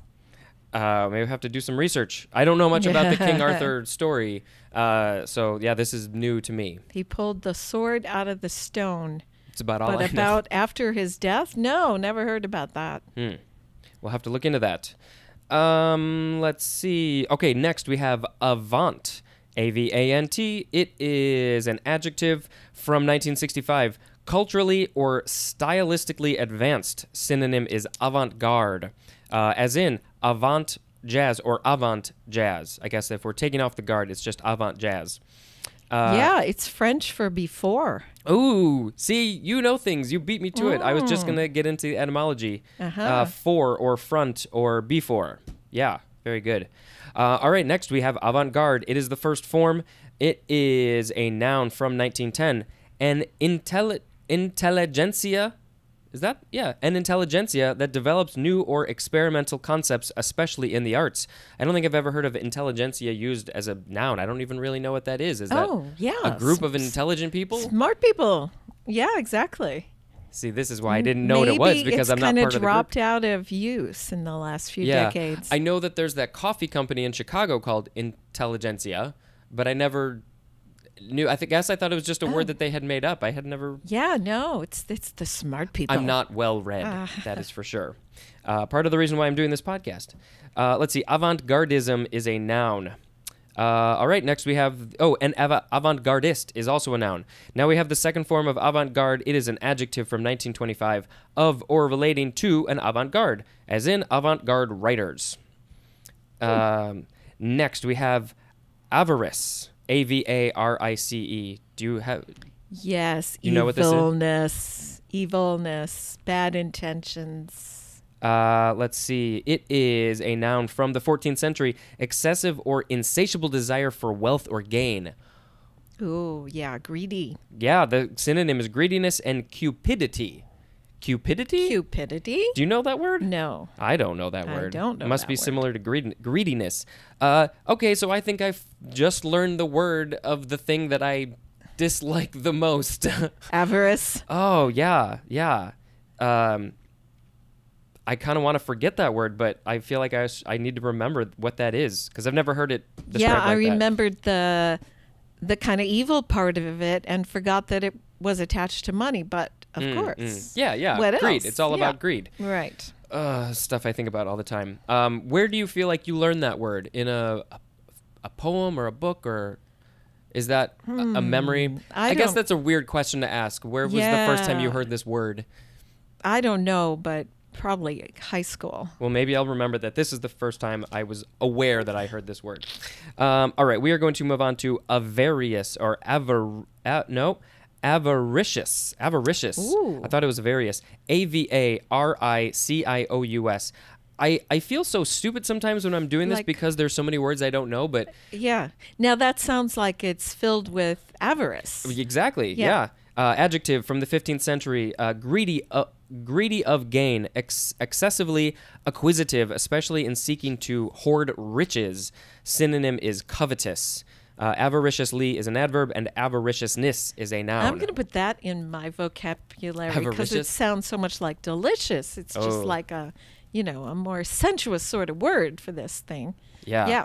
I would feel very fancy if I Yeah, remembered to use that word. uh, but that might happen. Uh, all right, next we have a, uh, avas- avascular. Avascular. So it's uh, a word, Oh. vascular. I'm familiar with that. And Uh, then they put an outside A. of your, yeah, vascular system. oh, and we forgot to mention that you were a science teacher. We should mention that I was a science teacher Yeah. for mm, three decades, pretty close to. That's a while. Yeah, that's what, a while. What ages was it? Middle school. I've taught, well, five through 12, but mostly middle school, Mm-hmm. Physical science, and chemistry. Uh, that is an a uh, quite an age to go through. Six, uh, you know, 11, 12, 13. Uh, that probably was hard. And I love that age because they're so fun. It's- and you couldn't do boring things or you would totally lose them. So Right. you had to make class interesting. it's the transitional time between childhood and adulthood, and you have no idea what's happening to your life. Anything. Yeah, that's right. Yeah, Hormones kicking in. You feel like you're kind of an adult, but you're not quite there yet. And so, yeah, keeping things interesting, I think, is really yeah, good yeah. for kids. so yeah, I brought dry ice to play with and made solar cars and created inventions. and would wheel in on roller skates. Ah, well, On for occasion? Halloween. Okay. Yeah, occasionally. Well, That's correct. So this is why she is very familiar with these words that I'm not familiar with, um, like avascular. Uh, it is an adjective from circa 1900, having few or no blood vessels. Ugh. As in avascular tissue. And a vascularity is a noun. Well, Well, now we take a little bit of a turn. We have avascular necrosis or necrosis. Ooh. Uh, not good. Uh, death of cells. Yeah, a noun from 1953 necrosis of bone tissue due to impaired or disrupted blood vessel, as from traumatic injury or disease. I, I can't really imagine what it's like to go through that. Well, I suppose you could have just a little bit of that when you That's have true. a wound, right? Right. And some of the skin dies, or yeah, some tissue dies and then it heals. But if you have it in a big way, that sounds bad. Yeah. So just because the word necrosis is in it doesn't necessarily mean that it it's body wide. It's Yes, uh, it can be small. Right. It right. could be in a It's just the cells are dying. location. Right. which is happening all the time. Um, all right, next we have avast, A V A S T. It is a verb from 1681, a nautical command to stop or cease. You have to say avast. Yeah, I can hear pirates saying this. Oh yes, whatever that Yes, comes after I'm- that. Yes, you can hear it in that pirate voice. Uh-huh. Yeah, yeah. Um, all right, next we have uh, avatar. This is a noun Oh. from 1784. There's a bunch of definitions have for this one. Uh, let's see. One, the incarnation of a Hindu deity as Vishnu. Number two, A, an in- incarnation in human form. Two, B, an embodiment as of a concept or philosophy, often in a person. Three, a variant phase or version in a uh, continuing basic entity. Four, an electronic image that represents and is manipulated by a computer user, as in a computer game. And I may have to belch. I do that every once in a while. Sorry, I'm human. Um, let's see. The etymology says this is from Sanskrit avatara, which means descent, uh, from avatarati, which means he descends, and that is from um, away, and he crosses over, and there's more at ukase. Do you know that word? U K A S E? A S E. No, I'm not familiar I with do that. Not. Um, and also the word through. So somehow etymologically, those are related. But what I'm amazed about is how old that word is. Because we think of the modern use and the movie Avatar, and it all sounds so up to date, and then you find out it's from the 1700s. Yeah, well, uh, and that's the English version of the word. Hmm. Uh, who knows how much further back it goes Yeah, from that? I mean, it says it's Sanskrit. So yeah, this is a very old idea and concept. And Yeah, yeah, and we yeah. think of it in terms of our technology, our our little picture on our phone picture, or whatever. right. Uh, yeah, that's an old word. Uh, all right, next we have Avaunt. A V A U N T. You are my Avaunt Janet. Sorry, bad joke. Um, all right, this is uh, an adverb from the 15th century. We just have these synonyms away and hence. H E H E N C E. It is uh, Middle English, literally means forward. Um, and there's more at uh, the word of or the prefix anti. Not Avaunt. in my vocabulary. No. Uh, all right, next we have AVC, all caps. This is an abbreviation for automatic volume control. Uh, I guess that's some feature that maybe things have. They automatically change the volume. Makes sense. Oh yeah, electronics, sound equipment. Yeah, yeah. It's, if it's too loud, you want it to be a certain level. Um, all right, next we have AVDP. Uh, all lowercase. It is an abbreviation for, and I think this is a word we had in the last episode somewhere. Um, avoirdupois. Avoirdupois. Uh, a French word. A V O I R D P. Uh, sorry, A V O I R D U P O I S. Uh, and I can't remember what that means, but we read it. Somewhere. No, no. Yeah, I don't That's know. a uh, fun French word. And let's see. Next, we have uh, a few more. Ave, A V E, uh, or it could also be uh, ave, ave. It is the first form. It is a noun from the 13th century. One, an expression of greeting or of leave taking. Synonyms are hail and farewell. like Ave Maria. ah, yes, The yes. Um, I don't know the words of Ave Maria. I feel like I should know them, I but don't either. I know the tune, but that's Uh-huh. about it. Uh, I'll have to look up those lyrics now. Uh, all right, number two, it says it's often capitalized. It is the synonym Ave Maria. Um, all right, next we have Ave again. It is the second form. It is an abbreviation for avenue. I am familiar with this Oh. because I grew up on an avenue, Elmwood Avenue. Yes. Uh, next we have Avellan. Avellan, A V E L L A N. Uh, is this something that you're familiar with? No. This I don't even have a guess. a velen. It's an adjective from 1610 uh, of a heraldic cross. So that's the that's the category we're talking about here. Uh, having the forearms shaped like conventionalized filberts. And then it says to see the cross illustration. So I guess there's a bunch of different kinds of crosses, and we'll see what they look like at a later date. A velen. Uh, this is from um, feminine of Albelanus. I don't think I said that right. Of Abella, uh, ancient town in Italy. That's where it's from. Uh-huh. And I think we'll do one more for this episode. It is Ave Maria. We've already spoken about her a little bit, or that phrase. Uh, capital A, capital M. It is a noun from the 13th century, and the synonym uh, is Hail Mary, the first definition of Hail Mary. Oh, yeah. I feel like I have so much to learn because I don't know anything about the song or religion. That's just where I'm coming at this from. Yeah. Do you yeah. know? No? No, I don't. I don't. I'm glad I'm not alone. I think they sing it in Latin. Yeah. You know. Yeah.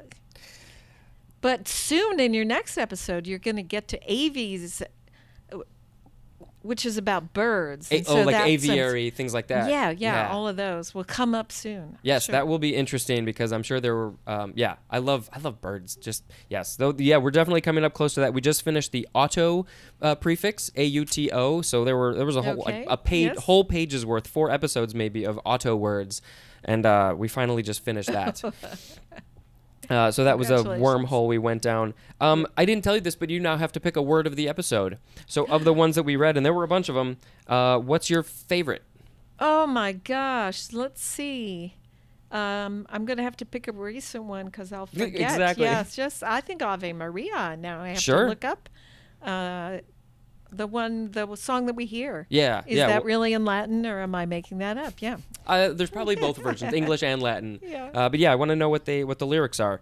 Uh, so that's it. Thank you for joining me, Janet. Thank you for joining me, uh, audience. Thank you for joining us and listening to us babble on about some words. Thank And, you, uh, Spencer. You're was awesome. amazing at how you do interesting things in the world. I have no idea what I'm doing. I'm flying by the seat of my pants, but I'm having a good time. So That's what counts. yes. Uh, all right. Thank you. And until next time, this is Spencer and Janet reading the dictionary. Goodbye.